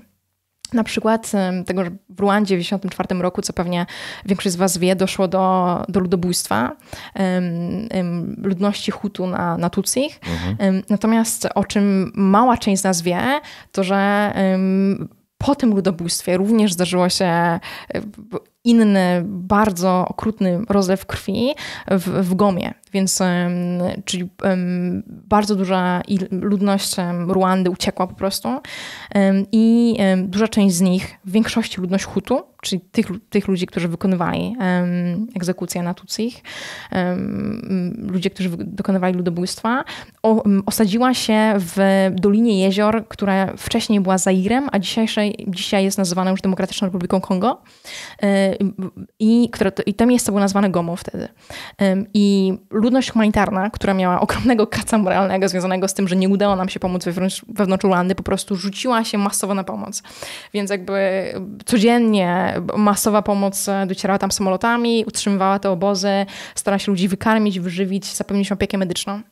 Natomiast do czego doszło, to to, że te obozy rozrosły się w ogromny sposób i niestety część z tych ludzi, która nadzorowała te obozy, to byli po prostu ludobójcy, tak? To byli ludzie, którzy wracali do Ruandy, z obozów organizowali jakby kolejne masakry, wracali do Ruandy, mordowali dalej i wracali z łupami z powrotem do obozów. I teraz ludność um, Tutsich mhm. pod, pod przewodnictwem jakby Kagame, wtedy lidera um, ruandyjskiego, ukrywała się w Ugandzie i prezydent Kagame powiedział, jeżeli wy tego nie zaprzestaniecie, jeżeli nie zaprzestaniecie utrzymywania tych obozów, to po prostu ja wkroczę z moim wojskiem i wymorduję wszystkich w tych obozach. I teraz niektóre organizacje humanitarne w porę się zorientowały, co jest grane i na przykład taki MSF, czyli um, Lekarze Bez Granic, wycofali się na czas, powiedzieli, że oni nie zamierzają jakby przykładać ręki do, do kolejnego ludobójstwa, ale wiele organizacji tego nie zrobiło i w którymś momencie po prostu um, Kagame zrobił to, co obiecał, wkroczył do obozów i wymordował właściwie wszystkich e, na miejscu, tak? Więc um, znowu mamy tutaj jakby kolejne pytanie, jakby etyczność naszych działań. Um, kolejna, kolejna sytuacja, która, która bardzo jakby zapadła mi zapadła mi w pamięci i gdzieś tam na sumieniu jako pracownikowi humanitarnemu, który czuje jakby kolektywną odpowiedzialność za to, co się dzieje, to jest Srebrenica. Mhm. Więc w 1985 roku po upadku Jugosławii Serbowie masowo starali się wyeliminować społeczność bośniacką, bośniaków, tak. którzy byli po prostu muzułmanami wtedy. I ONZ stworzył tak zwane enklawy bezpieczeństwa wtedy. Jedną z enklaw bezpieczeństwa była Srebrenica. I teraz ONZ tam wkroczył mówiąc, że my damy wam wojska, wtedy holenderskie wojska, tak zwanych peacekeepers, niebieskie, niebieskie hełmy, Niebieskie tak? hełmy po polsku, tak. Blue helmets, mhm. które natomiast nie miały wtedy mandatu, żeby strzelać do nikogo. Czyli tak naprawdę ich funkcja była troszeczkę trochę wizerunkowa, trochę ceremonialna, trochę ochrony, ale tak naprawdę tylko do pewnego stopnia. Demonstracyjna, tak. Mhm. I rzeczywiście ONZ zbudował tą enklawę bezpieczeństwa, ale dał ludziom warunek. Jeżeli chcecie tam żyć, to musicie oddać swoją broń. I on w taki sposób, wszyscy Bośniacy, którzy tam po prostu się schronili, musieli oddać swoją broń, czyli nie mieli czym się bronić przed Serbami. I w którym momencie Serbowie po prostu zdecydowali się tam wkroczyć. Wojska holenderskie wycofały się, tak? Peacekeepers się wycofa, wycofali i Bośniacy skorzystali nawet z paliwa z wozów ONZ-owskich do tego, żeby jakby przenieść 8 tysięcy chłopców i mężczyzn bośniackich i po prostu ich wymordować, tak? I to było największe jakby ludobójstwo od czasu II wojny światowej w Europie. Mm. I ONZ poniekąd się do tego przyczyniło, tak? Jakby tworząc bardzo łatwe warunki do, do popełnienia takiej zbrodni, tak? Czym nie wiem, teraz patrzymy na to, co się dzieje w Syrii, tak? I wiemy na przykład, że um, ONZ jest zbudowany w taki sposób, że mamy tak zwaną Radę Bezpieczeństwa, czyli pięć państw, które mają powiedzmy sobie de facto największy wpływ na, na, na działania ONZ-owskie. Tak. I to są państwa, które właściwie wygrały gdzieś tam II wojnę światową. I, i mianowicie jest to, są Stany Zjednoczone, Rosja, Chiny, Wielka Brytania i Francja.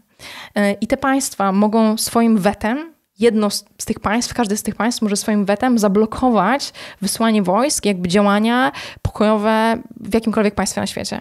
I teraz, ponieważ na przykład w Syrii aktywnie działa Rosja, tak, tak. Wspierana również przez Chiny, no to jakiekolwiek jakby działania, interwencje militarne po prostu były blokowane jakby wielokrotnie, tak. Więc teraz mówimy o systemie, który po prostu jest sparaliżowany. A teraz dlaczego mamy Radę Bezpieczeństwa? Dlatego, bo ONZ uznał w którymś momencie, że wielką wartością jest to, żeby mieć każdy z tych wielkich wielkich mocarstw po prostu przy stole. Tak, bo legitymizują dokładnie. decyzję ONZ. Dokładnie, dokładnie. A teraz jesteśmy w momencie po prostu, w którym Syria jest wielką plamą na swojej ludzkości i wydaje mi się, że w perspektywie kilkudziesięciu lat nie będziemy w stanie wytłumaczyć naszym dzieciom, gdzie wtedy byliśmy, tak? Jak to się działo. Więc e, tak, ten sektor ma sobie wiele mówić pytań. o plusach Skręciliśmy w straszną stronę. Nostalgicznie nam się ona zrobiło, także weszła na taki wysoki poziom filozoficzny, e, ale mówiliśmy o tych plusach, to jeszcze wróćmy do plusów pracy. Mówiłaś, pierwsza rzecz to, że masz wpływ na, tak. na tą rzeczywistość, która cię otacza. E, czujesz, że to jest twoim obowiązkiem i dlatego to robisz.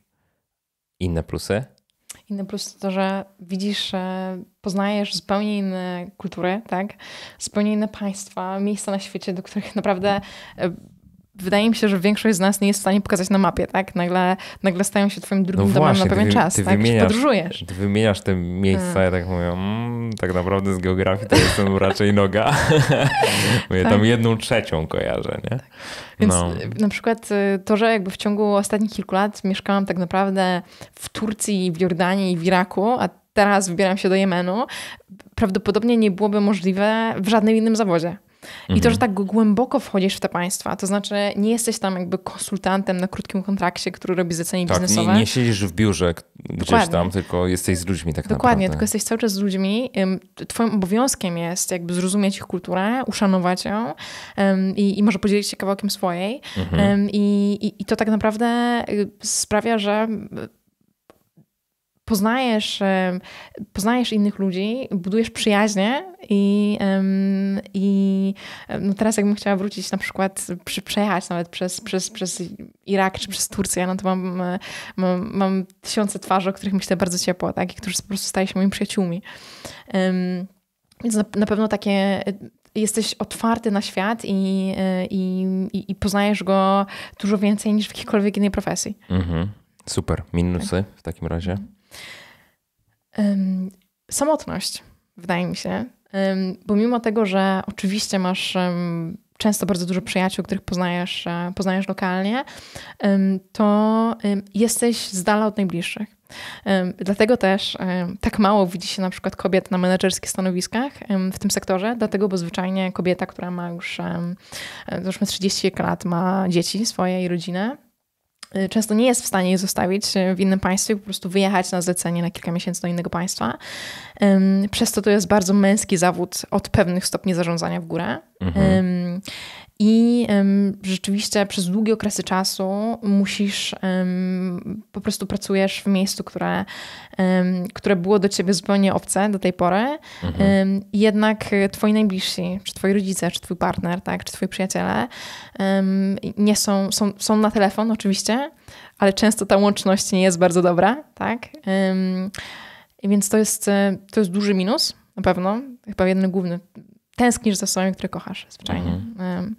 Um, kolejnym, kolejnym minusem jest pewnie, że zdarzają się naprawdę ciężkie warunki bytowe yy, i musisz być na to przygotowany. I teraz tak, jedni mogą to traktować jako przygodę i szkołę przetrwania, tak? Dla drugich jest to cięższe, więc po prostu osoby, które, e, które jednak potrzebują pewnego rodzaju yy, jakby minimum luksusu, to, to też nie jest zawód dla was.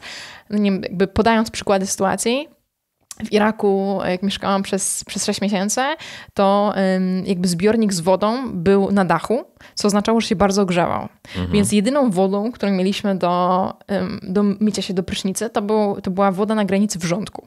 Więc właściwie jakby cały czas byliśmy, jakby wychodziło się z prysznica, cały czerwony, jakby byłeś cały poparzony właściwie. Natomiast jeżeli ten zbiornik znajduje się w piwnicy, to ta woda jest zawsze zimna. Więc jakby jeżeli chodzi właśnie o, o manipulowanie temperaturą pod prysznicem, to to nie jest dobry zawód do tego. E, kolejna kwestia, oczywiście jakby poznajesz wiele ciekawych kuchni lokalnych, ale część z nich może, e, może ci nie odpowiadać. Na przykład w Iraku, szczególnie na przykład w Mosulu, tak, e, jest oczywiście jest bardzo mało stałych upraw, jest bardzo mało warzyw i owoców. W większości co się je, no to baraniny wypasaną na ruinach i chleb, tak? Więc jakby to nie jest pewnie dieta bogata różne źródła dobrych składników mineralnych, witamin. Um, więc um, tak, to, to, to, trudne warunki bytowe.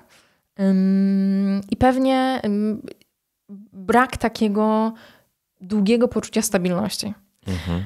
E, więc wydaje mi się, że ja teraz, w wieku 25 lat, mogę sobie pozwolić na większe ryzyka jeszcze, na przygody, tak? na, na przebywanie w bardzo krótkich okresach czasu w różnych dziwnych miejscach. Natomiast rzeczywiście, jeżeli ważne a w przyszłości pewnie będą ważne dla mnie rzeczy typu stabilizacja, rodzina, tak, to, to, to, nie, jest, to nie jest profesja, która zawsze zapewnia jakby komfortową stabilizację. Często ludzie, którzy byli humanitarystami w przeszłości, przechodzą na przykład do działalności zrównoważonego rozwoju, tak, do działalności rozwojowej, e, albo pracują z centrali, dlatego właśnie, bo chcą po prostu być, być blisko swoich, swoich kochanych, tak.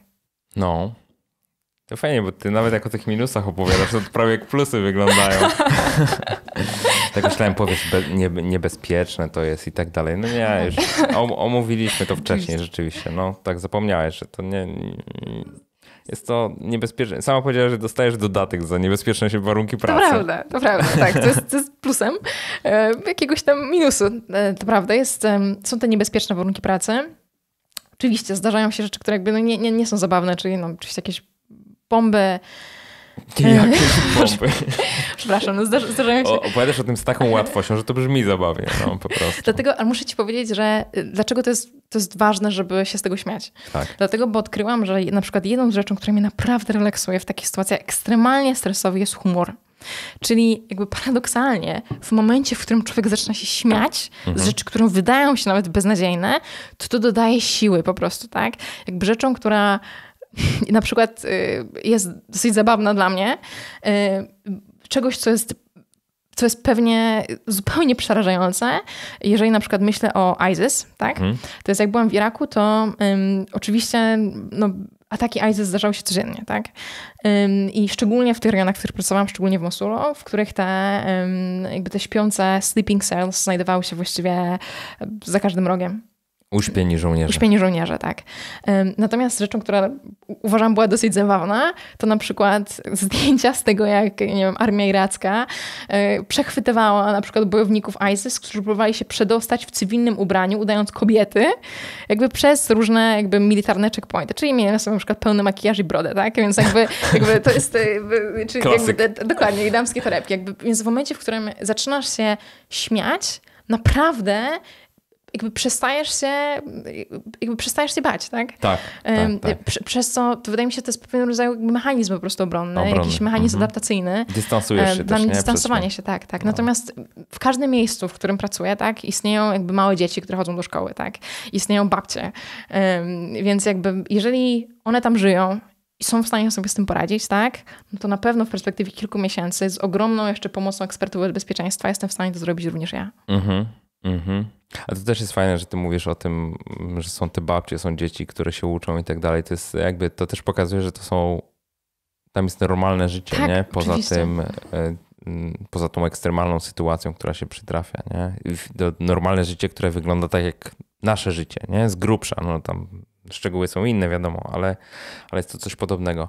Ola, ale nie mogę cię nie zapytać o jedną rzecz. Ja się zastanawiam, wiesz, pamiętam y, z innych rozmów opowiadałaś, jak na Lesbos miałaś taką sytuację, że y, matka rzuciła noworodkiem w ciebie y, z tonącej łodzi, tak? Ja się zastanawiam, czy ty masz koszmary senne, czy nie masz. Um, Gdzieś to musi z Mhm, ciebie tak, wychodzić. tak, w jakiś prawda, sposób musi. prawda. To ja nie wierzę, że, człowiek, że jakby człowiek jest w stanie być taką osobą, która po prostu jest zawsze silna i no, gdzieś to musi uchodzić. prawda. E, powiem tak. Miewam koszmary. Tak? Miewałam je przez długi czas po powrocie z Iraku. Już ich tak, już ich nie mam. Natomiast z, jakby z mojej rozmowy z profesjonalistami w tym aspekcie, z, to rozumiem, że tak naprawdę często one są rzeczą pożądaną. Dlaczego? Mhm. Z dwóch względów. Jeżeli jesteś cały czas w, w strefie wojny, tak? Jeżeli rzeczywiście jakby jesteś codziennie, żyjesz w zagrożeniu życia, to jakby twój mechanizm czy, czy stres bojowy, czy mechanizm adaptacyjny jest taki, że twój organizm chce, żebyś był cały czas na granicy przerażenia. Mianowicie chce, żebyś się codziennie śniły bomby, dlatego po prostu, żeby pompował ogromne ilości adrenaliny do swoich żył, po to, żeby się rozszerzały, jakby oskrzelać źrenice, pompowała ci szybciej krew, żebyś nie czuł głodu, po to, żeby po prostu mobilizować się, żeby przetrwać, tak? Mhm. I teraz koszmary związane, związane po prostu z wojną w takich warunkach utrzymują cię cały czas jakby... Na najwyższym e, poziomie Tak, to aktywności. prawda, na najwyższym poziomie po prostu skupienia Mhm. e, i aktywności, mobilizacji. E, A drugą rzeczą jest taką, że rzeczywiście to musi mieć gdzieś ujście, tak? Jakby jesteśmy, oso- jesteśmy profesjonalistami, jesteśmy osobami, które przychodzą tam, przyjeżdżają do tych miejsc przeszkolone, ale mimo wszystko jakby każdy z nas jest człowiekiem, tak? Jesteśmy, jest naturalną zupełnie ludzką reakcją na takie rzeczy, jest czasem zapłakać, tak? Więc na pewno mimo tego, że właściwie podczas samych zleceń nie zdarza mi się płakać wcale, tak? To, to są sytuacje, w których, nie wiem, odwiedzam, odwiedzam rodziców w Polsce, tak? I, e, i, I zdarza mi się uronić łzę nad rzeczą, która jest e, tak naprawdę dosyć normalna, Banalna, tak? nie? Dosyć Normalna. banalna, tak? Mhm. Zdarzyło mi się odwiedzić na przykład zoo wrocławskie z rodzicami w tej zimy i zobaczyć lwy, które po prostu przytulały się do siebie w, w, w skrajne zimno i starały się ogrzać i po prostu nie zostały w jakiś sposób zabrane do środka do Afrykanarium z powrotem.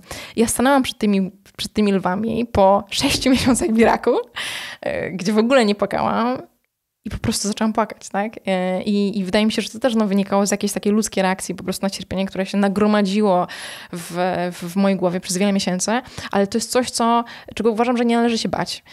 I uważam, że y, nie należy ukrywać tego, że my, pracownicy humanitarni, możemy jednocześnie być bardzo profesjonalni, a jednocześnie być ludźmi, którzy są autentyczni i którzy są z krwi i kości. I którzy mają emocje. I wydaje mi się, że pewna wrażliwość jest po prostu w sercu naszego, w sercu naszego zawodu. Mianowicie, gdybyśmy nie czuli poczucia niesprawiedliwości, poczucia gniewu, patrząc na, e, na konsekwencje konfliktów zbrojnych na świecie, to po prostu byśmy się w takie miejsca nie pakowali. Tak? To byśmy tam nie jechali, nie starali się jakby po prostu Zmieniać prowizorycznie naprawiać i Tak. zszywać tego świata razem. Tak? Tak. Ym, więc tak, zdarzają mi, się, zdarzają mi się koszmary, ale w ogóle chciałabym odesłać Państwa do takiej książki. Jednej z moich ukochanych książek, jeżeli chodzi w ogóle o literaturę reportażu wojennego. Jest napisana przez Włoszkę, nazywa się Francesca Borri. Książka jest, jest napisana po włosku, La guerra dentro, czyli wojna wewnątrz, i ma też tłumaczenie angielskie, The Syrian Dust kurz syryjski. I dotyczy właśnie raportowania z, z Aleppo bezpośrednio. Jakby podczas e, jakby straszliwej wojny, która się dzieje w Syrii, wszyscy właściwie wiemy, jak, jak dzisiaj wygląda Aleppo, to jest zupełny cmentarz. I ta Franceska em, opisuje, co się dzieje na wojnie, co się dzieje tak naprawdę dookoła nie codziennie, ale co jakiś czas przyplata to swoim koszmarem. I pisze to w taki sposób, że czytając na przykład rozpoczęcie rozdziału, nie wiesz do końca, Czy jest... czy widzisz rzeczywistość, czy Tak. widzisz jej koszmar. I moim zdaniem ta, ta, ten taki zabieg literacki we wspaniały sposób tak naprawdę pokazuje rzeczywistość wojny. Czy pokazuje tą taką abstrakcję, to takie zupełnie surrealizm, bo w ogóle wrażenie wojny jest nie, jest, jest nie do opisania. To nie jest coś, co jesteś w stanie tak naprawdę wytłumaczyć drugiemu człowiekowi, który nigdy nie był w takim, w takim świecie. I to, co widzimy na filmach, czyli na przykład, nie wiem, Brada Pitta wysiadającego z Land Cruisera w koszuli khaki i przerzucającego worek z ryżem, tak? Jakby to nie ma związku z rzeczywistością. Jakby dlatego bardzo mnie denerwuje na przykład, jeżeli ludzie gloryfikują konflikty zbrojne, jeżeli ludzie gloryfikują wojnę, jeżeli mówią na przykład o, e, o bohaterach wojennych, tak, czy o ludziach, którzy poświęcili swoje życie za, jakąś, e, za jakiś interes polityczny, wydaje mi się to po prostu zwyczajnie głupie. Dlaczego? Dlatego, bo wojny w większości składają się jakby z wysyłania na front dzieciaków w wieku 19-20 lat, którzy nie wiedzą o co walczą, którzy chowają się potem, nie wiem, jak żołnierze na przykład w bazach w Iraku i w Afganistanie, odgradzając się od ludności e, lokalnej, popełniając błędy militarne, doprowadzając do śmierci cywili e, i po prostu tak naprawdę zawsze na wojnie najbardziej giną nie kombatanci, tylko giną cywile. Mhm. Giną ludzie, ginie personel medyczny, ginie personel humanitarny. absolutnie to jest dysproporcjonalne do, do ilości żołnierzy, która ginie w takich konfliktach. I chciałabym powiedzieć, że w wojnie nie ma nic podniosłego. W wojnie nie ma nic, co należy gloryfikować. Tam w ogóle jakakolwiek apoteoza takich rzeczy wywołuje we mnie po prostu odruch e, wymiotny, no przepraszam, tak? E, jak widzę na przykład, e, jakby rozumiem, rozumiem szacunek, który rozdajemy na przykład powstańcom, tak? Ale w momencie, w którym widzę generała wojskowego jakby z dziesięcioma orderami na piersi i, i ludzie, którzy mówią mu thank you for your service, no to dla mnie to jest trochę absurd. Cały przemysł wojenny, tak? Jest, jest czymś po prostu złym, tak? Jest, jest, sprawia, że ludzie giną i giną to codziennie i giną w tej minucie również, tak? Dlatego jak widzę, jak Francesca Borg na przykład opisuje w swojej książce w taki sposób zupełnie surowy mhm. tą rzeczywistość wojenną i ona nie, nie chowa tego za pięknymi apoteozami, za pięknymi metaforami, to po prostu y, kojarzy mi się to z prawdą zwyczajnie. To jest prawdziwe. To jest prawdziwe, tak. I jeżeli jesteśmy w stanie wrócić jakby myślami do naszego ostatniego, najgorszego koszmaru, no to to prawdopodobnie jest po prostu codzienność dla, dla człowieka, który mieszka y, dzisiaj, dzisiaj na przykład w takim Aleppo, tak. Kurczę, trudna ta rozmowa, powiem ci. Bardzo trudna. Zastanawiam się jeszcze nad jedną rzeczą. To się przewija cały czas w tej rozmowie, ale chciałbym, żebyś to jednak spróbowała zebrać. Dlaczego to robisz po prostu, Ola? Mam wrażenie, że bycie świadkiem pewnych sytuacji pociąga za, sobie, za sobą odpowiedzialność po prostu. I potem jak rzeczywiście w jak tej pewnej grudniowej nocy znalazłam się na wyspie Lesbos i, i zobaczyłam ludzi, którzy tak desperacko prosili mnie o pomoc. Którzy tak desperacko prosili, żeby, nie wiem, zrobić im zdjęcia, powiedzieć ich historię, zająć się ich dzieckiem. Wydaje mi się, że trochę taką zdradą wobec ich oczekiwań człowieka do człowieka byłoby, gdybym w tym momencie jakby rzuciła wszystko i, i, i zajęła się czymś zupełnie niezwiązanym z tym. I tak naprawdę moją ambicją od, od, od grudnia 2015 było właśnie zrozumienie, zrozumienie co się takiego musi dziać, że ci ludzie uciekają, co się takiego musi dziać, że matka wkłada do łodzi dziecko, do łodzi, na łodzi, na którą ja nigdy własnego dziecka bym nie włożyła, tak? To znaczy, że po prostu ląd jest jeszcze bardziej niebezpieczniejszy niż morze. Dlatego brnęłam coraz głębiej w Bliski Wschód i brnę dalej. Natomiast mam też wrażenie, że jest dużo rzeczy, które tak naprawdę dodają mi sił w tym wszystkim. I wymieniłabym takie chyba trzy. Pierwsza to jest siła ludzi, których spotykam przede wszystkim, ich odporność. To, że rzeczywiście widzisz ludzi, którzy są w sytuacjach absolutnie beznadziejnych, którzy nie mają nic właściwie tobie by się wydawało, że nie mają nic, mi, mi by się tak wydawało, a tak naprawdę są w stanie, nie wiem, podzielić się z tobą jakby kromką chleba, tak? Jak pamiętam rodzinę, którą wyciągnęłam z wody e, i nie zostało nam żadnego jedzenia, żadne jedzenie w obozie i, i miałam tylko jabłko. E, I to była 12-osobowa rodzina i dałam mi to jabłko i oni tak przekroili to jabłko, żeby został na mnie kawałek, tak? A, a ja mogłam sobie po prostu iść, nie wiem, do hotelu, zjeść sobie posiłek, tak? Do hotelu, który nie przyjmował uchodźców. Albo na przykład po prostu sytuacje, w których, w których widzi się, jak te rodziny dbają o siebie nawzajem. Czyli na przykład widziałam chłopców, którzy w swoich ramionach nieśli swoich dziadków, dlatego, bo w ogóle rodzina w, w, na Bliskim Wschodzie, w świecie wschodnim jest bardzo dużą wartością e, i nie zostawia się nikogo w tyle. I na przykład jak uciekało się, e, załóżmy z takiego Idlib w Syrii i jak miałeś dziadka, który poruszał się na wózku inwalidzkim, to nigdy nie zostawiałeś tam dziadka, mimo tego, że dziadek na przykład chciał zostać, tak, bo wolał się poświęcić. To po prostu stawiałeś jego wózek, brałeś dziadka na ramiona, tak, i, i, i widzisz te, te dzieciaki, które mają na przykład, no są zmęczonych, odwojonych rodziców tak, na swoich ramionach. W swoich ramionach widzisz na przykład starsze rodzeństwo, które opiekuje się młodszym rodzeństwem, dzieci, które na przykład nie śpią całe noce, żeby mieć pewność, że młodszemu rodzeństwu nic się nie stanie.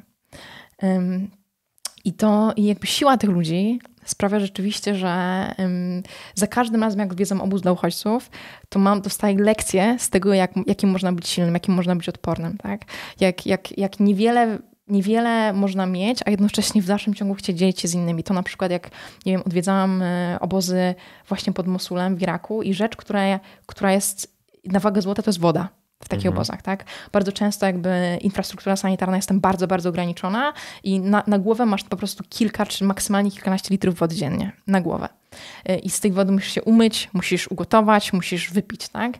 I jak za każdym razem wchodziłam do jakiegokolwiek namiotu, do którego ludzie mnie zapraszali wręcz, bo gościnność jest w ogóle, jest bardzo ważna dla, w kulturze arabskiej, to za każdym razem pierwsze co robili, to po prostu przynosili mi wiadro z wodą i mówili umyj się, tak? Pij, tak?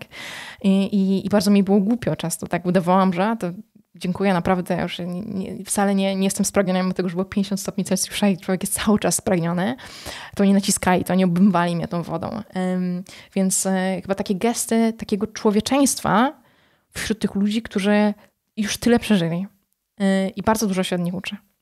E, I dla mnie jest to absolutnym przywilejem, że mogę towarzyszyć im im w tych momentach, które są słabe. I też pamiętajmy, że człowiek w momentach, w których jest słaby, wstydzi się często, często swojej słabości i nie chce, żeby byli świadkowie dookoła, tak? Mm. Więc to jest moment, w którym jakby to nie jest moment komfortowy dla drugiego człowieka i często człowiek wstydzi się tego, że potrzebuje pomocy.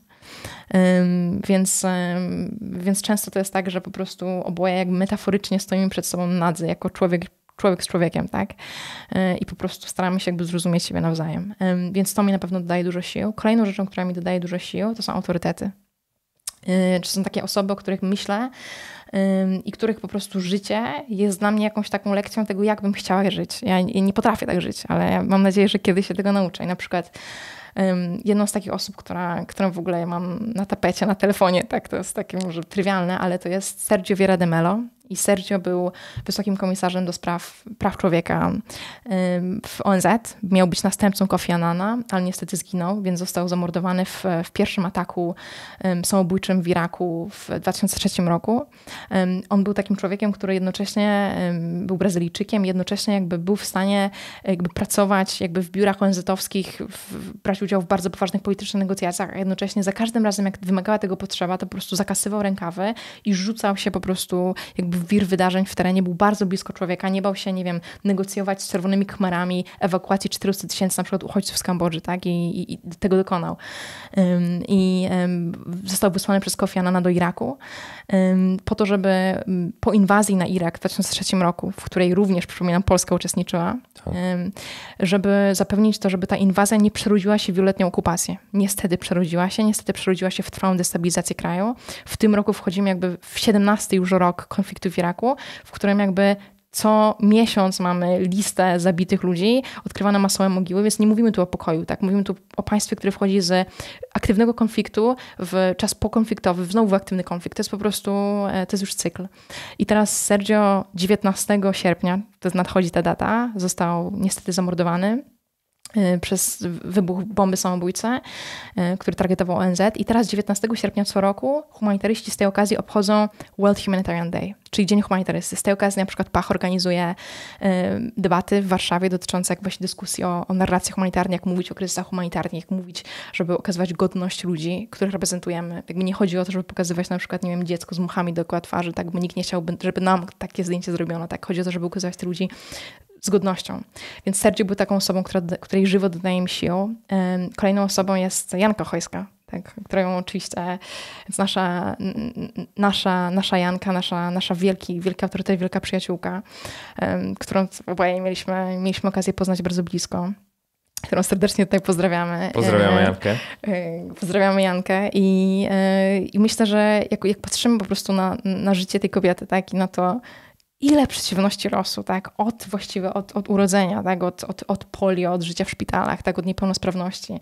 E, jakby po właściwie bariery i kłody rzucane pod nogi i ile, ile ten, ten człowiek przeszedł jednocześnie, jakby budując polską akcję humanitarną, jednocześnie pomagając w 36 krajach, jadąc konwojami do Sarajewa, tak, jak spadając w przepaść samochodem, prawie, prawie ginąc, a jednocześnie dalej wracając w te miejsca i, i, i, i ucząc Polaków humanitaryzmu, ucząc ich tych wartości, których nam tak bardzo brakuje jako narodowi, bo jesteśmy też trochę krótkowzroczni, tak.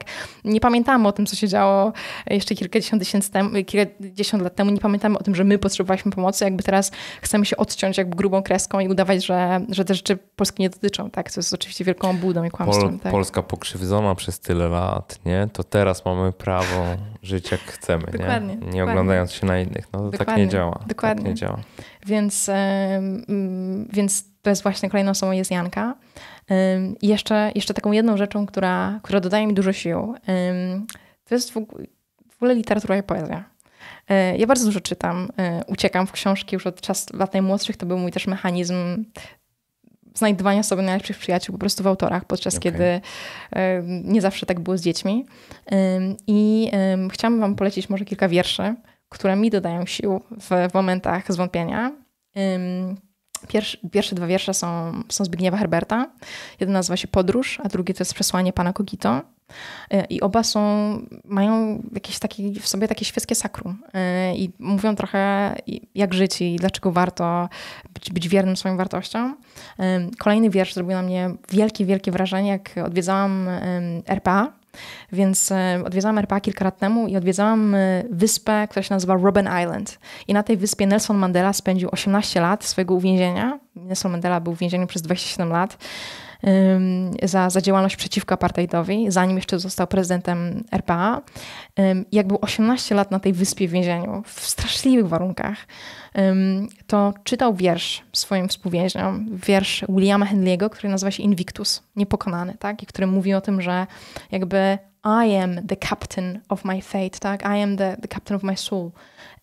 I to jest e, coś, jak, jak wyobrażam sobie w ogóle tak, jak siedzi na takiej pryczy, tak? W, tym, w takim pasiaku i, i czyta o tym innym, mimo tych 27 lat, które spędził w więzieniu, to po prostu napawa to we mnie jakąś taką, jakimś takim głębokim wzruszeniem. E, Jeszcze jeden wiersz to jest Roll the Dice Charlesa Bukowskiego który właśnie pisze o tym, że, że, że trzeba się czasem poświęcić, jeżeli, jeżeli w coś wierzymy, mimo tego, że ludzie będą nas odchodzić, tak, że, że będą nas odchodzić najbliżsi. Istnieje coś takiego, co, co ja nazywam the crab effect, efekt kraba, mianowicie tego, że jak wypełnisz miskę krabami, pewnie nie wypełniasz jej często krabami, ale jak wypełnisz miskę Nigdy nie wypełniałem, ale załóżmy jak- hipotetycznie. hipotetycznie, jak wypełnisz ją żywymi krabami, to te kraby zaczną jakby e, chodzić na siebie, natomiast jeżeli jeden z nich postara się wyjść z tej miski, to inne kraby zamiast go wypchnąć mu pomóc, będą go próbowały wciągać do środka. Yy, I, I właśnie to jest wiersz o tym, że jeżeli masz coś, co, co jakby pozwala ci, nakazuje ci po prostu wyjść poza pewne konwencje, tak? I, i brnąć w coś, w co, w co święcie wierzysz, to, to trzeba to zrobić mimo wyrzeczeń, które, które mimo tego, że cię zostawi dziewczyna, tak nawet na przykład, załóżmy, tak? Więc to są te trzy wiersze, które są mi bardzo ważne. I, i tak, więc literatura jest, jest wspaniałą odskocznią w, w takich momentach. Cztery nawet naliczyłem wiersze. Tak? Tak, bo Herberta były dwa. Warto dwa, to prawda. Dobrze, dobrze. Będę miał dużą trudność z pisaniu wszystkich tytułów, ale myślę, że pomożesz. Chętnie, Pomożesz. oczywiście. Tylko y, kontakt będzie utrudniony, bo będziesz już w nie? Jakoś sobie poradzimy.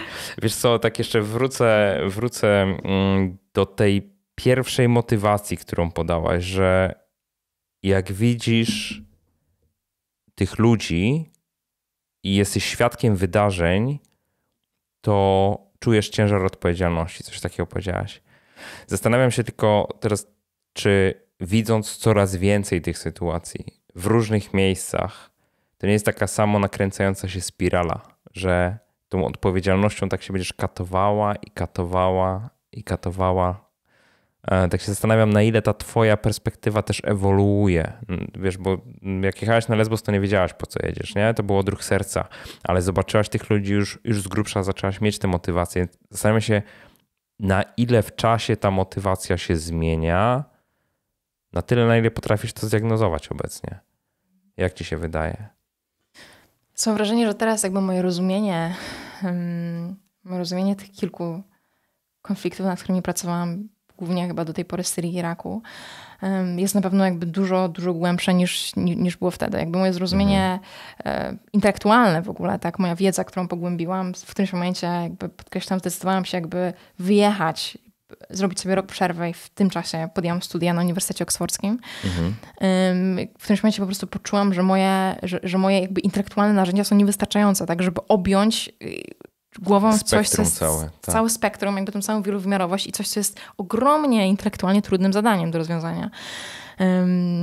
Więc e, na pewno pod względem takim teoretycznym, intelektualnym e, staram się pogłębiać moje zrozumienie. Teraz konflikty ewoluują, tak? Oczywiście każdy jest inny. To, co się dzieje tak. dzisiaj, prawdopodobnie nie będzie tym, co się dzieje jutro. Ale perspektywa chociażby, nie wiem, w Jemenie, do którego się jakby się wybieram, jakby zmieniła się o 180 stopni w perspektywie ostatnich dwóch tygodni. Więc... Pod takim względem? Pod takim względem, że ja miałam już teoretycznie w Jemenie być, Natomiast jakby sytuacja bezpieczeństwa się zupełnie zmieniła, eskalowała, więc jedyne miasto w Jemen, które do tej pory było taką jakby siedzibą rządu jemeńskiego, który tak naprawdę przebywa w Arabii Saudyjskiej, to miasto nazywa się Aden, miasto portowe, miasto na południu, do tej pory jakby nie zostało zajęte przez jednostki zbrojne, które, szyickie jednostki Houthis, które, które kontrolują jakieś 70% kraju od, od północy. Natomiast w ciągu ostatnich e, kilku dni był tam powiedzmy sobie przewrót stanu, w którym wojska koalicyjne, które do tej pory były sojusznikami na tym froncie zjednoczonym przeciwko Houthis, które po prostu zaczęły walczyć między sobą, mianowicie wycofała się wojska emirackie, wycofały się po ostatnim jakimś tam ataku, ataku który targetował paradę militarną, wycofały się z Jemenu, co zostawiło 90 tysięcy ludzi wyszkolonych przez, przez te jednostki, jakby po prostu z bronią na ulicach. I ci ludzie w tym momencie jakby wykorzystali tą okazję do tego, żeby domagać się secesji Jemenu, Aden, Jemenu Południowego od Jemenu Północnego. I teraz Jemen został zjednoczony w latach 90. Wcześniej jakby to był jeden północ, Jemen Północny, Jemen Południowy. I te, te siły, które nazywają się Southern Traditional Council, STC, przejęły wszystkie budynki rządowe w Jemenie. Więc tak naprawdę teraz rząd de facto nie ma jakiejkolwiek prezencji tak naprawdę w, nawet w tym ostatnim mieście w Aden. I teraz oznacza to, że sytuacja humanitarna się jeszcze bardziej skomplikowała i ludzie będą jeszcze bardziej potrzebować pomocy, bo nie wiemy tak naprawdę, czy ten, ta państwowość, która była zachowana w tej małej enklawie, w dalszym ciągu będzie utrzymywana, czy jaka część, po prostu kto będzie, nie wiem, kto będzie płacił ludziom za, za pracę w sektorze publicznym, kto będzie robił rzeczy banalne, ale te na przykład takie wywózka śmieci, bez których po prostu mamy, um, mamy niebezpieczeństwo epidemii, no tak, po prostu. Um, więc e, sytuacja się zdestabilizowała. Więc e, jakby na razie analizujemy sytuację bezpieczeństwa i zastanawiamy się, w którym momencie najlepiej wyjechać z Jemenu. Prawdopodobnie będzie to w, e, w ciągu najbliższych dwóch tygodni. Natomiast chcemy zrobić to mądrze i też oczywiście wiemy, że no, eskalacja konfliktu sprawia, że potrzeby humanitarne są jeszcze większe. Jako Polska Akcja Humanitarna jesteśmy tym bardziej zdeterminowani, żeby jakby nasz projekt e, jakby wykonać w miejscu, zrobić to mądrze i, i zaadresować tak najbardziej palące potrzeby ludzkie. Więc jakby to Jemen jest przykładem chociażby tego, że sytuacja może się zmienić jakby z dnia na dzień. Tak? Jasne. Wrócę też do wątku, który wcześniej poruszaliśmy. Trochę też wspomniałaś o tych wyjazdach takich, nazwijmy to, na odbudowanie się, ale zastanawiam się, co jest takim twoim wentylem bezpieczeństwa, gdzie ty znajdujesz na przykład ucieczkę, w czym znajdujesz ucieczkę. Literatura trochę powiedziałaś, odpowiedziałaś już częściowo, ale na przykład tam na miejscu, nie? W jaki sposób, albo nawet jak wyjeżdżasz, jesteś w Polsce, to jakby jak odbudowujesz, czy budujesz tą taką swoją pewność, że świat pomimo to, że te konflikty się toczą, że ty jesteś w nich zanurzona w zasadzie przez większość swojego czasu, kiedy tam jesteś, że świat jest jednak całkiem normalny, nie? Bo mi się wydaje, że tą wiarę w normalność świata to można w takich miejscach utracić. Znaczy, gdzieś któryś, pamiętam, wywiad z tobą został podpisany, że jeździsz w miejsca, e, które jakby mają wiele wspólnego z piekłem, mówiąc zupełnie wprost, nie? Myślę, że to trochę jakby rozdmuchanie sytuacji, ale tak, no pewnie tak. tak, tak. No, tak, nie, tak. Nie, nie chciałbym ja tytułować tak y, rozmowy, nie? W sensie wydaje mi się to grubo przesadzone, ale myślę, że dla takiej przeciętnej osoby, która słucha tej rozmowy i tam jest po tych dwóch godzinach już, to, to, to myślę, że będzie taka ocena, kurczę, dziewucha jest szalona, i jeździ rzeczywiście w miejsca, w które po prostu normalny człowiek by się nie chciał zapuszczać. Nie? Normalny w sensie no, nie, nie chcący się tam narażać na jakieś zagrożenia. Co jest tym twoim wentylem bezpieczeństwa? Oprócz tych rzeczy, które już wspomniałam, czyli właśnie literatura, autorytety, osoby, które mnie inspirują, to na pewno rodzina, tak? Jestem, nie ukrywam, jestem bardzo blisko jakby z, z moją najbliższą rodziną, z moimi rodzicami, z moją babcią, która mnie wychowała podczas kiedy jakby... Macie kontakt taki w miarę codzienny, w sensie jak jesteś tam, czy... E, tak? Nie zawsze jest taka możliwość, tak po prostu nie mhm. zawsze jest wystarczająco dobra łączność, tak? Natomiast za każdym razem, kiedy pozwalam sobie na ten kontakt, to jest po prostu jest szczery i bezpośredni. Czyli wiem, że e, jeżeli po prostu bym potrzebowała czegoś, tak? Potrzebowałam dobrego słowa, czy potrzebowałabym jakby wsparcia psychicznego, czy, czy po prostu, nie wiem, przyjechać do Polski i razem sobie ponarzekać, tak, to, to naprawdę mogę na nich liczyć.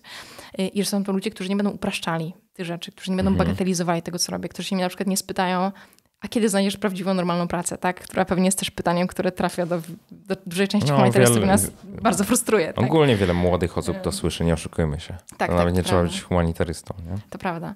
Więc, więc na pewno jestem im, za to, jestem im za to bardzo, bardzo wdzięczna. Jakby siłą rzeczy przez to, że przerzucałam się trochę z państwa do państwa przez ostatnie 8 lat mojego życia, to jakby moja, moja grupa przyjaciół jest porozrzucana po całym świecie, ale przez to, że na przykład spędziliśmy jakby dwa magiczne lata jakby we Włoszech razem, no to jesteśmy, mam wrażenie, sobie tak bliscy jak rodzeństwo. Więc e, na pewno jakby kontakt z nimi też, też odbudowuje moją wiarę, moją wiarę w, e, w normalność. W normalność, tak, tak. Poza tym e, wydaje mi się, że i w moich rodzicach, i w moich najbliższych przyjaciołach widzę, widzę taki pewien zestaw cech, który, który w ogóle mnie inspiruje do, do dalszego działania, który mnie wzmacnia. Mianowicie mówi się jakby potocznie, że jesteś jakby sumą pięciu najbliższych osób, tak, z którymi spędzasz największą ilość czasu, tak? I rzeczywiście mhm. jakby te osoby e, dookoła mnie to są osoby, które sprawiają jakby, że codziennie rano budzę się, zastanawiam się, czy naprawdę robię wystarczająco z moim życiem, po prostu bo one robią aż ty tak weź, dużo, bo tak? ty możesz po prostu w kompleksy wpędzić ludzi, którzy będą to oglądali, nie? To tak samo jak na początku powiedziałaś, to, to, to spacyfikuję cię za to teraz. E, na początku powiedziałaś, jak ja powiedziałem, że masz duże doświadczenie, to ty powiedziałeś, a jeszcze nie takie duże. E, a, a później przez trzy godziny opowiadasz, e, jakby odsłaniasz ten wierzchołek góry lodowej, nie? nie bądź nie, taka skromna, nie? Ja myślę, że w ogóle pokora jest, Pokora jest ważna, potwierdzam. Myślę że, jest, myślę, że jest bardzo ważna i w ogóle jest taką cechą, która teraz wyszła z mody, nie? Mhm. E, mianowicie w, jakby w dobie e, załóżmy, nie wiem, Instagrama, którego wierzę, że można prowadzić bardzo fajnie i bardzo artystycznie i bardzo głęboko, no to mimo to wydaje mi się, że, że, że jednak na pewno taka próżność otrzymuje pewną dużą aprobatę społeczną e, i już nie jest, nie jest nie do końca dla wszystkich nie w dobrym smaku, tak? Więc tutaj też odsyłam was do wspaniałej książki książki kolejnej, książki Davida Brooksa, to jest Amerykanin, e, pisze głównie do The Washington Post, przepraszam, do The New York Times i napisał książkę Droga do charakteru, tak, The Road to Character. Jest I, po polsku wydana też, nie? Chyba nie. Dobra. Ale jest po angielsku. Okay. Jest, ale słuchajcie, zamiast tego może jest jeszcze podcast godzinny na Spotify'u, również po angielsku, jest dużo bardziej przystępny. On ma też swoje TED Talki, które są po prostu, które mówią właściwie całą esencję książki wam podają, a jest, jest wspaniały. Mianowicie on, on mówi o takim ważnym rozróżnieniu, o którym dzisiaj zapominamy i on mówi o dwóch typach wartości, dwóch typach cech. Jeden typ to są, to jest on nazywa resume virtues, czyli powiedzmy jakby cechy, które widzimy na CV, tak? A drugim nazywa eulogy virtues, czyli cechy, o których się mówi w mowach pogrzebowych, w epitafiach mhm. ludzi, tak? On mówi, że w dzisiejszym świecie jakby każdy z nas wie, jak właściwie wykształcić w sobie jakby cechy, które, które żąda rynek, że właściwie na każdym kroku, czy na LinkedInie, czy w każdej książce możemy znaleźć jakby, nie wiem, top 10 cech, które jakby potrzebujesz, żeby być człowiekiem sukcesu w swojej profesji, a tak naprawdę niewiele z nas wie, co zrobić, żeby kształcić w sobie takie cechy jak szlachetność, jak honor, e, jak poświęcenie dla drugiego człowieka, tak? Jak, kultyw- jak walka ze swoimi słabościami w ogóle. Cały czas mówimy o, o wzmacnianiu swoich silnych stron, a bardzo mało mówimy o pracy nad swoimi słabościami, tak? Um, to jest niesamowicie ważne, wydaje mi się, nawet ważniejsze. Ja codziennie walczę ze swoimi słabościami, które są absolutnie ogromne, tak? Które mnie przytłaczają czasami. Natomiast, um, więc um, i, i pokora jest taką cechą, o której on mówi bardzo dużo. E, I, w, I on na przykład cytuje takie, cytuje takie badanie, w którym dzieci w Stanach Zjednoczonych, nastolatki, spytane, czy wolą być, czy wolałyby być asystentkami czy asystentami Justina Biebera, czy wolałyby być dyrektorami Harvardu, wybierają As Justina Biebera, nie? Mm. Więc jakby ta, ta taka ta taka szybka gratyfikacja, te, te lajki, tak, te, te takie jakby szybka satysfakcja. Substytut. Tak, dokładnie. Substytut prawdziwych wartości, nazwijmy to. Prawdziwych wartości, tak. Ale z drugiej strony dużo, też, no. no wiesz, no, kryzys autorytetów, nie? W sensie takim, że prawdziwe autorytety odchodzą, nowych nie ma. A trochę tak jest, nie? Że w sensie, jak ja pamiętam, kto tam dla mnie był autorytetem, jak byłem e, młodzieńcem. Jak to był? Dawno, dawno temu. Wiesz, trochę ich było. Janka Ochojska była jednym z mhm. nich i ja mam takie wspomnienie związane z Janką Ochojską, Jej chyba tego nie mówiłem, nie, może wspominałem, że y, kiedyś z moim kolegą, kolegą z liceum, e, albo z tatą, już nie pamiętam, coś zanosiliśmy do biura pachu i ja pamiętam dokładnie, gdzie to biuro pachu było, wiesz, tam w okolicy Nowego Światu, gdzieś tam na, na e, jeszcze. Później byli chyba na Szpitalnej. Gdzieś na Miodowie, e, na Szpitalnej. Tak, więc e, coś zanosiliśmy i ja, ja mam takie wspomnienie związane z Janką, ja ją wtedy pierwszy raz na żywo zobaczyłem. W ogóle pierwszy, to był mój pierwszy kontakt z nią i mówię, to jest niemożliwe, żeby osoba poruszająca się o kulach robiła dobro. Znaczy w sensie tak. organizowała to, wiesz, i tak dalej. Mówię, y, i drugie, druga myśl, którą miałem, to że jestem święcie przekonany, że to jest osoba, która ma ze sobą, wiesz, duże pieniądze, w sensie takim, no jest ustawiona w życiu i dlatego może się realizować w takich rzeczach. A później oczywiście się dowiedziałem, że to wcale tak nie wygląda, nie? Że to, to myślę, że to też to, to było, to jest jedno z doświadczeń, bo jakby tych doświadczeń różnych było wiele, ale jakby to doświadczenie, myślę, było czymś takim, co mi też udowodniło, znaczy udowodniło, pokazało, łamane na, pozwoliło sądzić, nie? że skoro ja mam dwie ręce i nogi sprawne, to mogę więcej. Wiesz o co chodzi. I, a z trzeciej strony masz takie zawstydzenie, nie? że skoro osoba, która nie jest w pełni sprawna, takie wielkie rzeczy robi, to znaczy, że ja powinienem, wiesz, robić coś równie tak. dużego przynajmniej, nie? Już nie mówię tam. No i wiesz, no i oczywiście y, różnie tam później się losy w życiu toczą i tak dalej. Y, myślę, że nie będę, wiele moich autorytetów jest pewnie kontrowersyjnych, w tym sensie, że jakbym zaczął nazwiska wymieniać, to zaraz by się tutaj y, słuchacze podzielili na różne obozy, no bo to są też osoby charakterystyczne, które często tak jest, że wiesz... te silne osobowości, one mają duży elektorat pozytywny i duży elektorat negatywny, nie? Wiesz, wystarczy wymienić taką osobę jak Lech Wałęsa na przykład, jakby nie mówiąc, czy to mój autorytet, czy nie, oczywiście, że autorytet, nie? W tamtym czasie.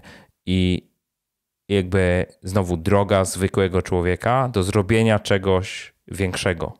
I oczywiście można tam się różnych rzeczy doszukiwać w jego przyszłości, próbować i tak dalej, co nie zmienia postaci rzeczy, że jest osobą wielką tak?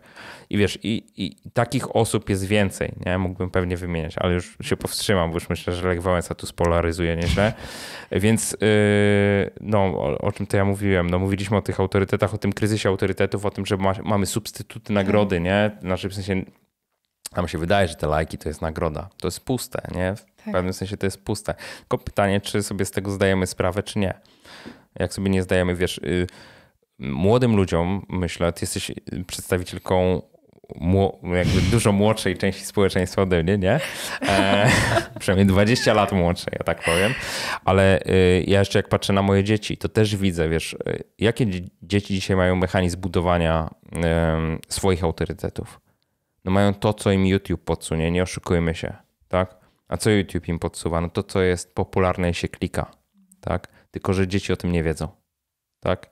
No i mm, gdzieś tam filtrują, nawet jeżeli próbują szukać dla siebie jakichś autorytetów w tej papce, to nadal to jest papka. Nie? To jakby trudno jest się dowiedzieć o tym, że jest gdzieś, no nawet taka Ola, która jeździ po świecie i coś robi, nie? że jakby dotrzeć do, do wiedzy o Twoim istnieniu i o Twoich działaniach i o Twoim punkcie widzenia na świat jest generalnie trudno, tak? Ciebie nie ma na YouTubie, nie? Ty nie jesteś popularną Instagramerką. No. E, także to, to, to są trudne tematy. E, Ola, zadam Ci jeszcze jedno pytanie. To jest takie pytanie, które się często pojawia, jak gości pytam, jak pytam, e, co by poradzili młodszym sobie o 10 lat, ale ze względu na Twój wiek zapytam Cię, co Ty byś sobie e, poradziła e, dzisiaj, mając to doświadczenie takiej 20-letniej e, Oli. To z jednej strony, ale z drugiej strony rozwinę to pytanie od razu. Co byś też poradziła młodym ludziom, którzy chcą zmieniać świat, mają, znaczy chcą mieć jakiś pozytywny wpływ na świat, bo młodzi ludzie mają takie poczucie, że ci starzy to zepsuli, a my jesteśmy tutaj i chcemy to naprawić, a przynajmniej mają taką ambicję. A na przykład brakuje im odwagi, czy brakuje im konsekwencji, którą ty ewidentnie masz. Znaczy, jak na ciebie patrzę, na to, co robisz, to sorry, no nie można powiedzieć, że nie brakuje, że brakuje ci odwagi, nie? Albo że brakuje ci siły czy, czy, czy konsekwencji w tych twoich działaniach. Więc takie trochę rady dla 20-letniej Oli, a trochę rady dla innych nastolatków. Więc nie musicie iść pod prąd przede wszystkim. E, przypomnę wam, że 20-letnia Ola rozpoczynając naukę na londyńskiej, szkół, londyńskiej szkole ekonomii i nauk politycznych chodziła na przykład na eventy o bankowości inwestycyjnej, tak? Dlatego, bo wszyscy chodzili na eventy bankowości inwestycyjnej i zastanawiała się, E, jak tutaj jakby, w, czy, czy, czy na lato iść do, do, do Ernst Young, czy iść do jakby Goldman Sachs, czy do McKinsey. Praktyki. Praktyki, tak, czy na, e, na staże, więc i, i w ogóle w tamtej perspektywie czasu coś, co robię dzisiaj, byłam totalną, absolutną abstrakcją, tak, nawet jakby tydzień przed tym, jak zaczęłam to robić, tak, grudzień 2015, to myślę, że e, jakby w, jeszcze w listopadzie nie miałam pojęcia o tym, że, że coś takiego będę robiła w życiu. I, I chyba może miejcie taką świadomość, że bo wydaje mi się, że tego, czego się często boimy, tego, czego ja się bałam przynajmniej, to tego, jak będą nas oceniać inni ludzie, tak? I, i coś, co jest bardzo takie um, po angielsku byśmy powiedzieli liberating, czyli takie uwalniające, uwalniające dokładnie uwalniające od, od tego, jest w momencie, w którym się zorientujemy, jak mało myślą o innych ludziach, jak mało myślimy o innych, tak? To jest jednocześnie głęboko przygnębiające, a z drugiej strony to jest bardzo uwalniające. Jak zdasz sobie sprawę z tego, że jakby z perspektywy jakby wszechświata, tak? Jesteśmy nasz czas na Ziemi jest, jest absolutnie nieistotny, tak? tak? I, I tak naprawdę większość ludzi na świecie jakby zastanawia się, widzi świat tylko i wyłącznie swojego punktu widzenia i, i, i, drugi człowiek jest tam, jest tam aktorem drugoplanowym z przypadku, tak? Jest aktorem epizodycznym, to tak naprawdę to daje nam całe spektrum rzeczy wolnościowych, które możemy sobie wybrać, tak? Nasz wybór jest aż paraliżujący, tego jest aż tyle po prostu, tak?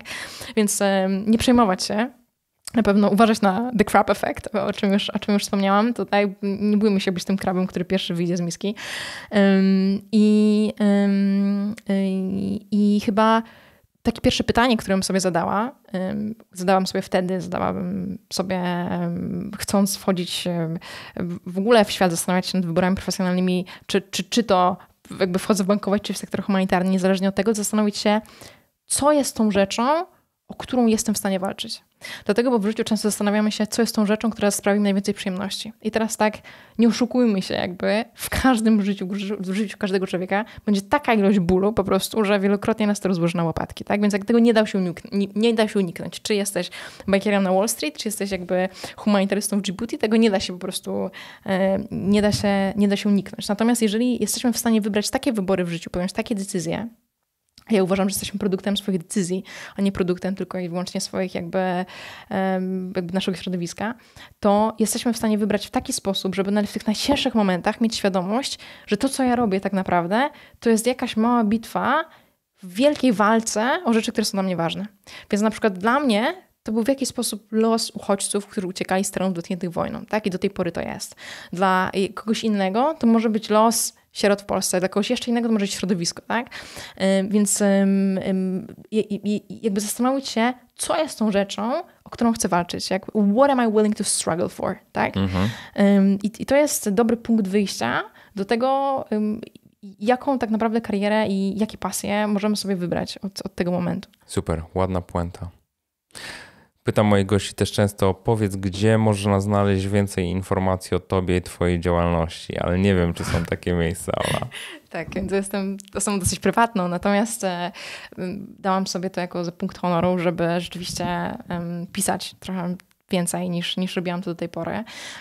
Zebrałam bardzo dużo przemyśleń, refleksji, obrazów i, i, filmów z różnych miejsc kryzysu, które widziałam do tej pory i chciałam się z nimi podzielić. I też czuję na sobie trochę taką odpowiedzialność, że to jest może część z tych rzeczy jest po prostu zbyt ważna, żebym trzymała je w, je w swoim Dla biurku. tak. Więc jeszcze nie wiem, w jakiej one będą formie publikowane, ale, ale pewnie jedynym takim medium społecznościowym, które, z którego korzystam dość regularnie jest Facebook. Mhm. Więc jest, mam tam opcję follow, jeżeli, jeżeli byście życzyli sobie, sobie oglądać jakieś update'y z, z moim udziałem. Pod Aleksandra e, K. Wiśniewska. Jakby, Zalinkujemy. Tak, tak. K to jest jakby, to jest y, jednak jakby musiałam, musiałam je dodać, dlatego po prostu Ola Wiśniewska z odpowiednikiem Jana Kowalskiego w Polsce, więc tak, trzeba prawda. się jakoś wyróżniać. Nawet ja mam siostrę Olę Wiśniewską. tak, no widzisz, to prawda. Dokładnie, więc znajdziesz dwie. Więc um, więc tak natomiast też bym chciała was, was skierować oczywiście do, na stronę na przykład Pachu, tak, pach.org.pl, na której po prostu znajdziecie jakby wspaniałe rzeczy, które ta organizacja robiła do tej pory. Ja dopiero do niej dołączyłam, tak, ja jeszcze nie mam, w ogóle jeszcze nad palcem się nie przyłożyłam do tego, co oni robią, natomiast oni robią wspaniałe rzeczy na całym świecie i teraz wielu, wielu z Polaków jakby często się mnie pyta, jakby dlaczego pomagacie tam, tak, dlaczego nie w Polsce. I to mhm. bym chciała powiedzieć, że Pach również pomaga w Polsce i tak Michał, tutaj nasz, nasz Michał jest najlepszym tego przykładem, więc e, Pach od 98 roku prowadzi akcję dożywiania dzieci Pajacyk. Pajacyk. I teraz e, tutaj Michał ze swoimi czytelnikami, e, z tego co rozumiem... Z wami.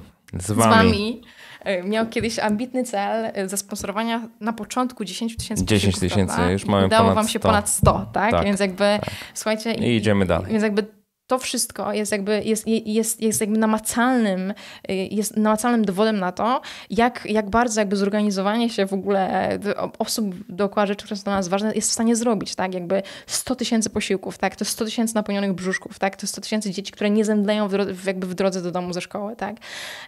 Więc, więc akcja Pajacyk, jeżeli pomaganie w Polsce to jest coś, z czym się utożsamiacie, coś, coś czym czujecie na przykład, na co w tym momencie na przykład, na, na, na co was stać, to może być być bardzo, bardzo skromna pomoc, tak?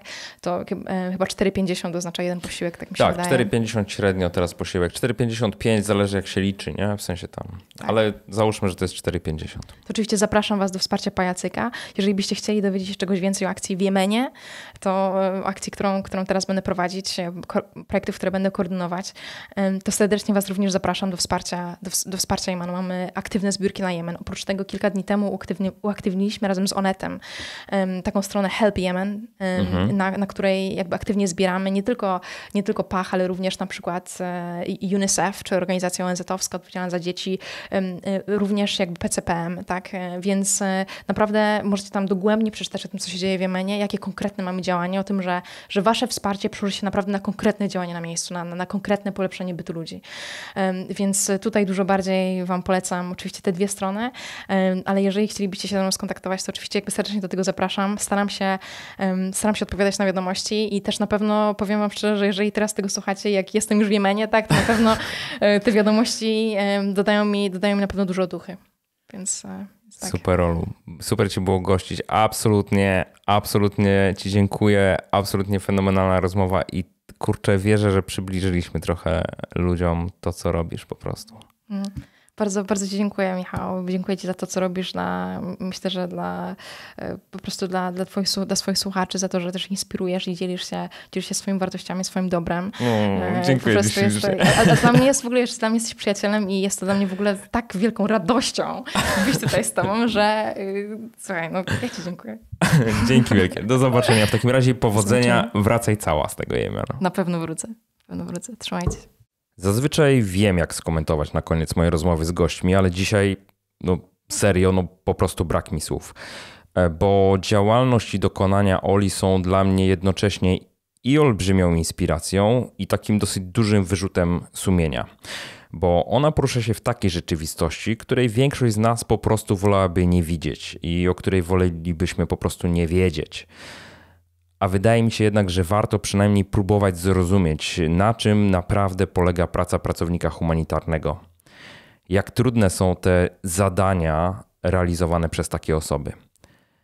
Bo wrzucając pieniądze do puszki, czy dokonując przelewu na różne cele dobroczynne, my nie wyobrażamy sobie, na co konkretnie idą te darowizny.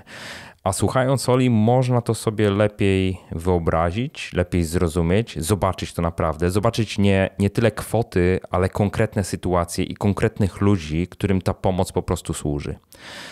I już tak naprawdę na koniec y, podzielę się z Wami taką dosyć smutną refleksją, bo spojrzałem w statystyki odcinków podcastów, w których poruszałem tematy związane z dobroczynnością, na przykład 47 y, odcinek opowiadający o książce Świat według Janki autorstwa Janiny Ochojskiej y, czy 104 odcinek, w którym wspólnie z Janką i Magdą Spachu przedstawialiśmy kulisy działania pajacyka.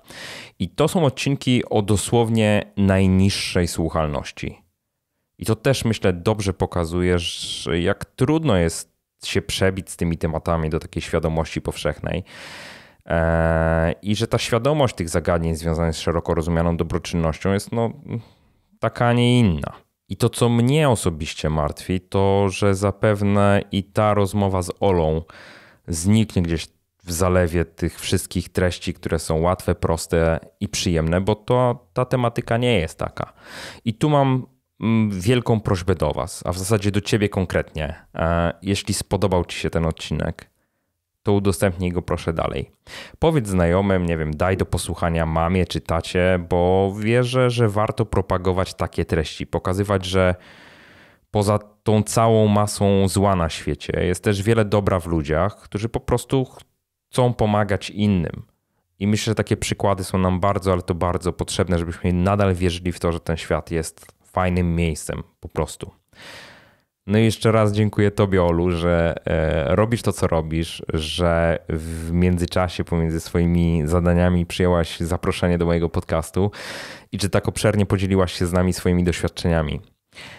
A Wam dziękuję już za kolejne spotkanie. Przypominam, że jeśli wolicie czytać niż słuchać, e, to na moim blogu zawsze znajdziecie transkrypt całego odcinka podcastu, spisaną całą jego treść. E, w tym przypadku, w przypadku tego odcinka pod adresem jakoszczędzaćpieniądze.pl ukośnik 137. I to tyle na dzisiaj. Dzięki bardzo za wspólnie spędzony czas i życzę Ci skutecznego przenoszenia Twoich celów finansowych na wyższy poziom. Do usłyszenia.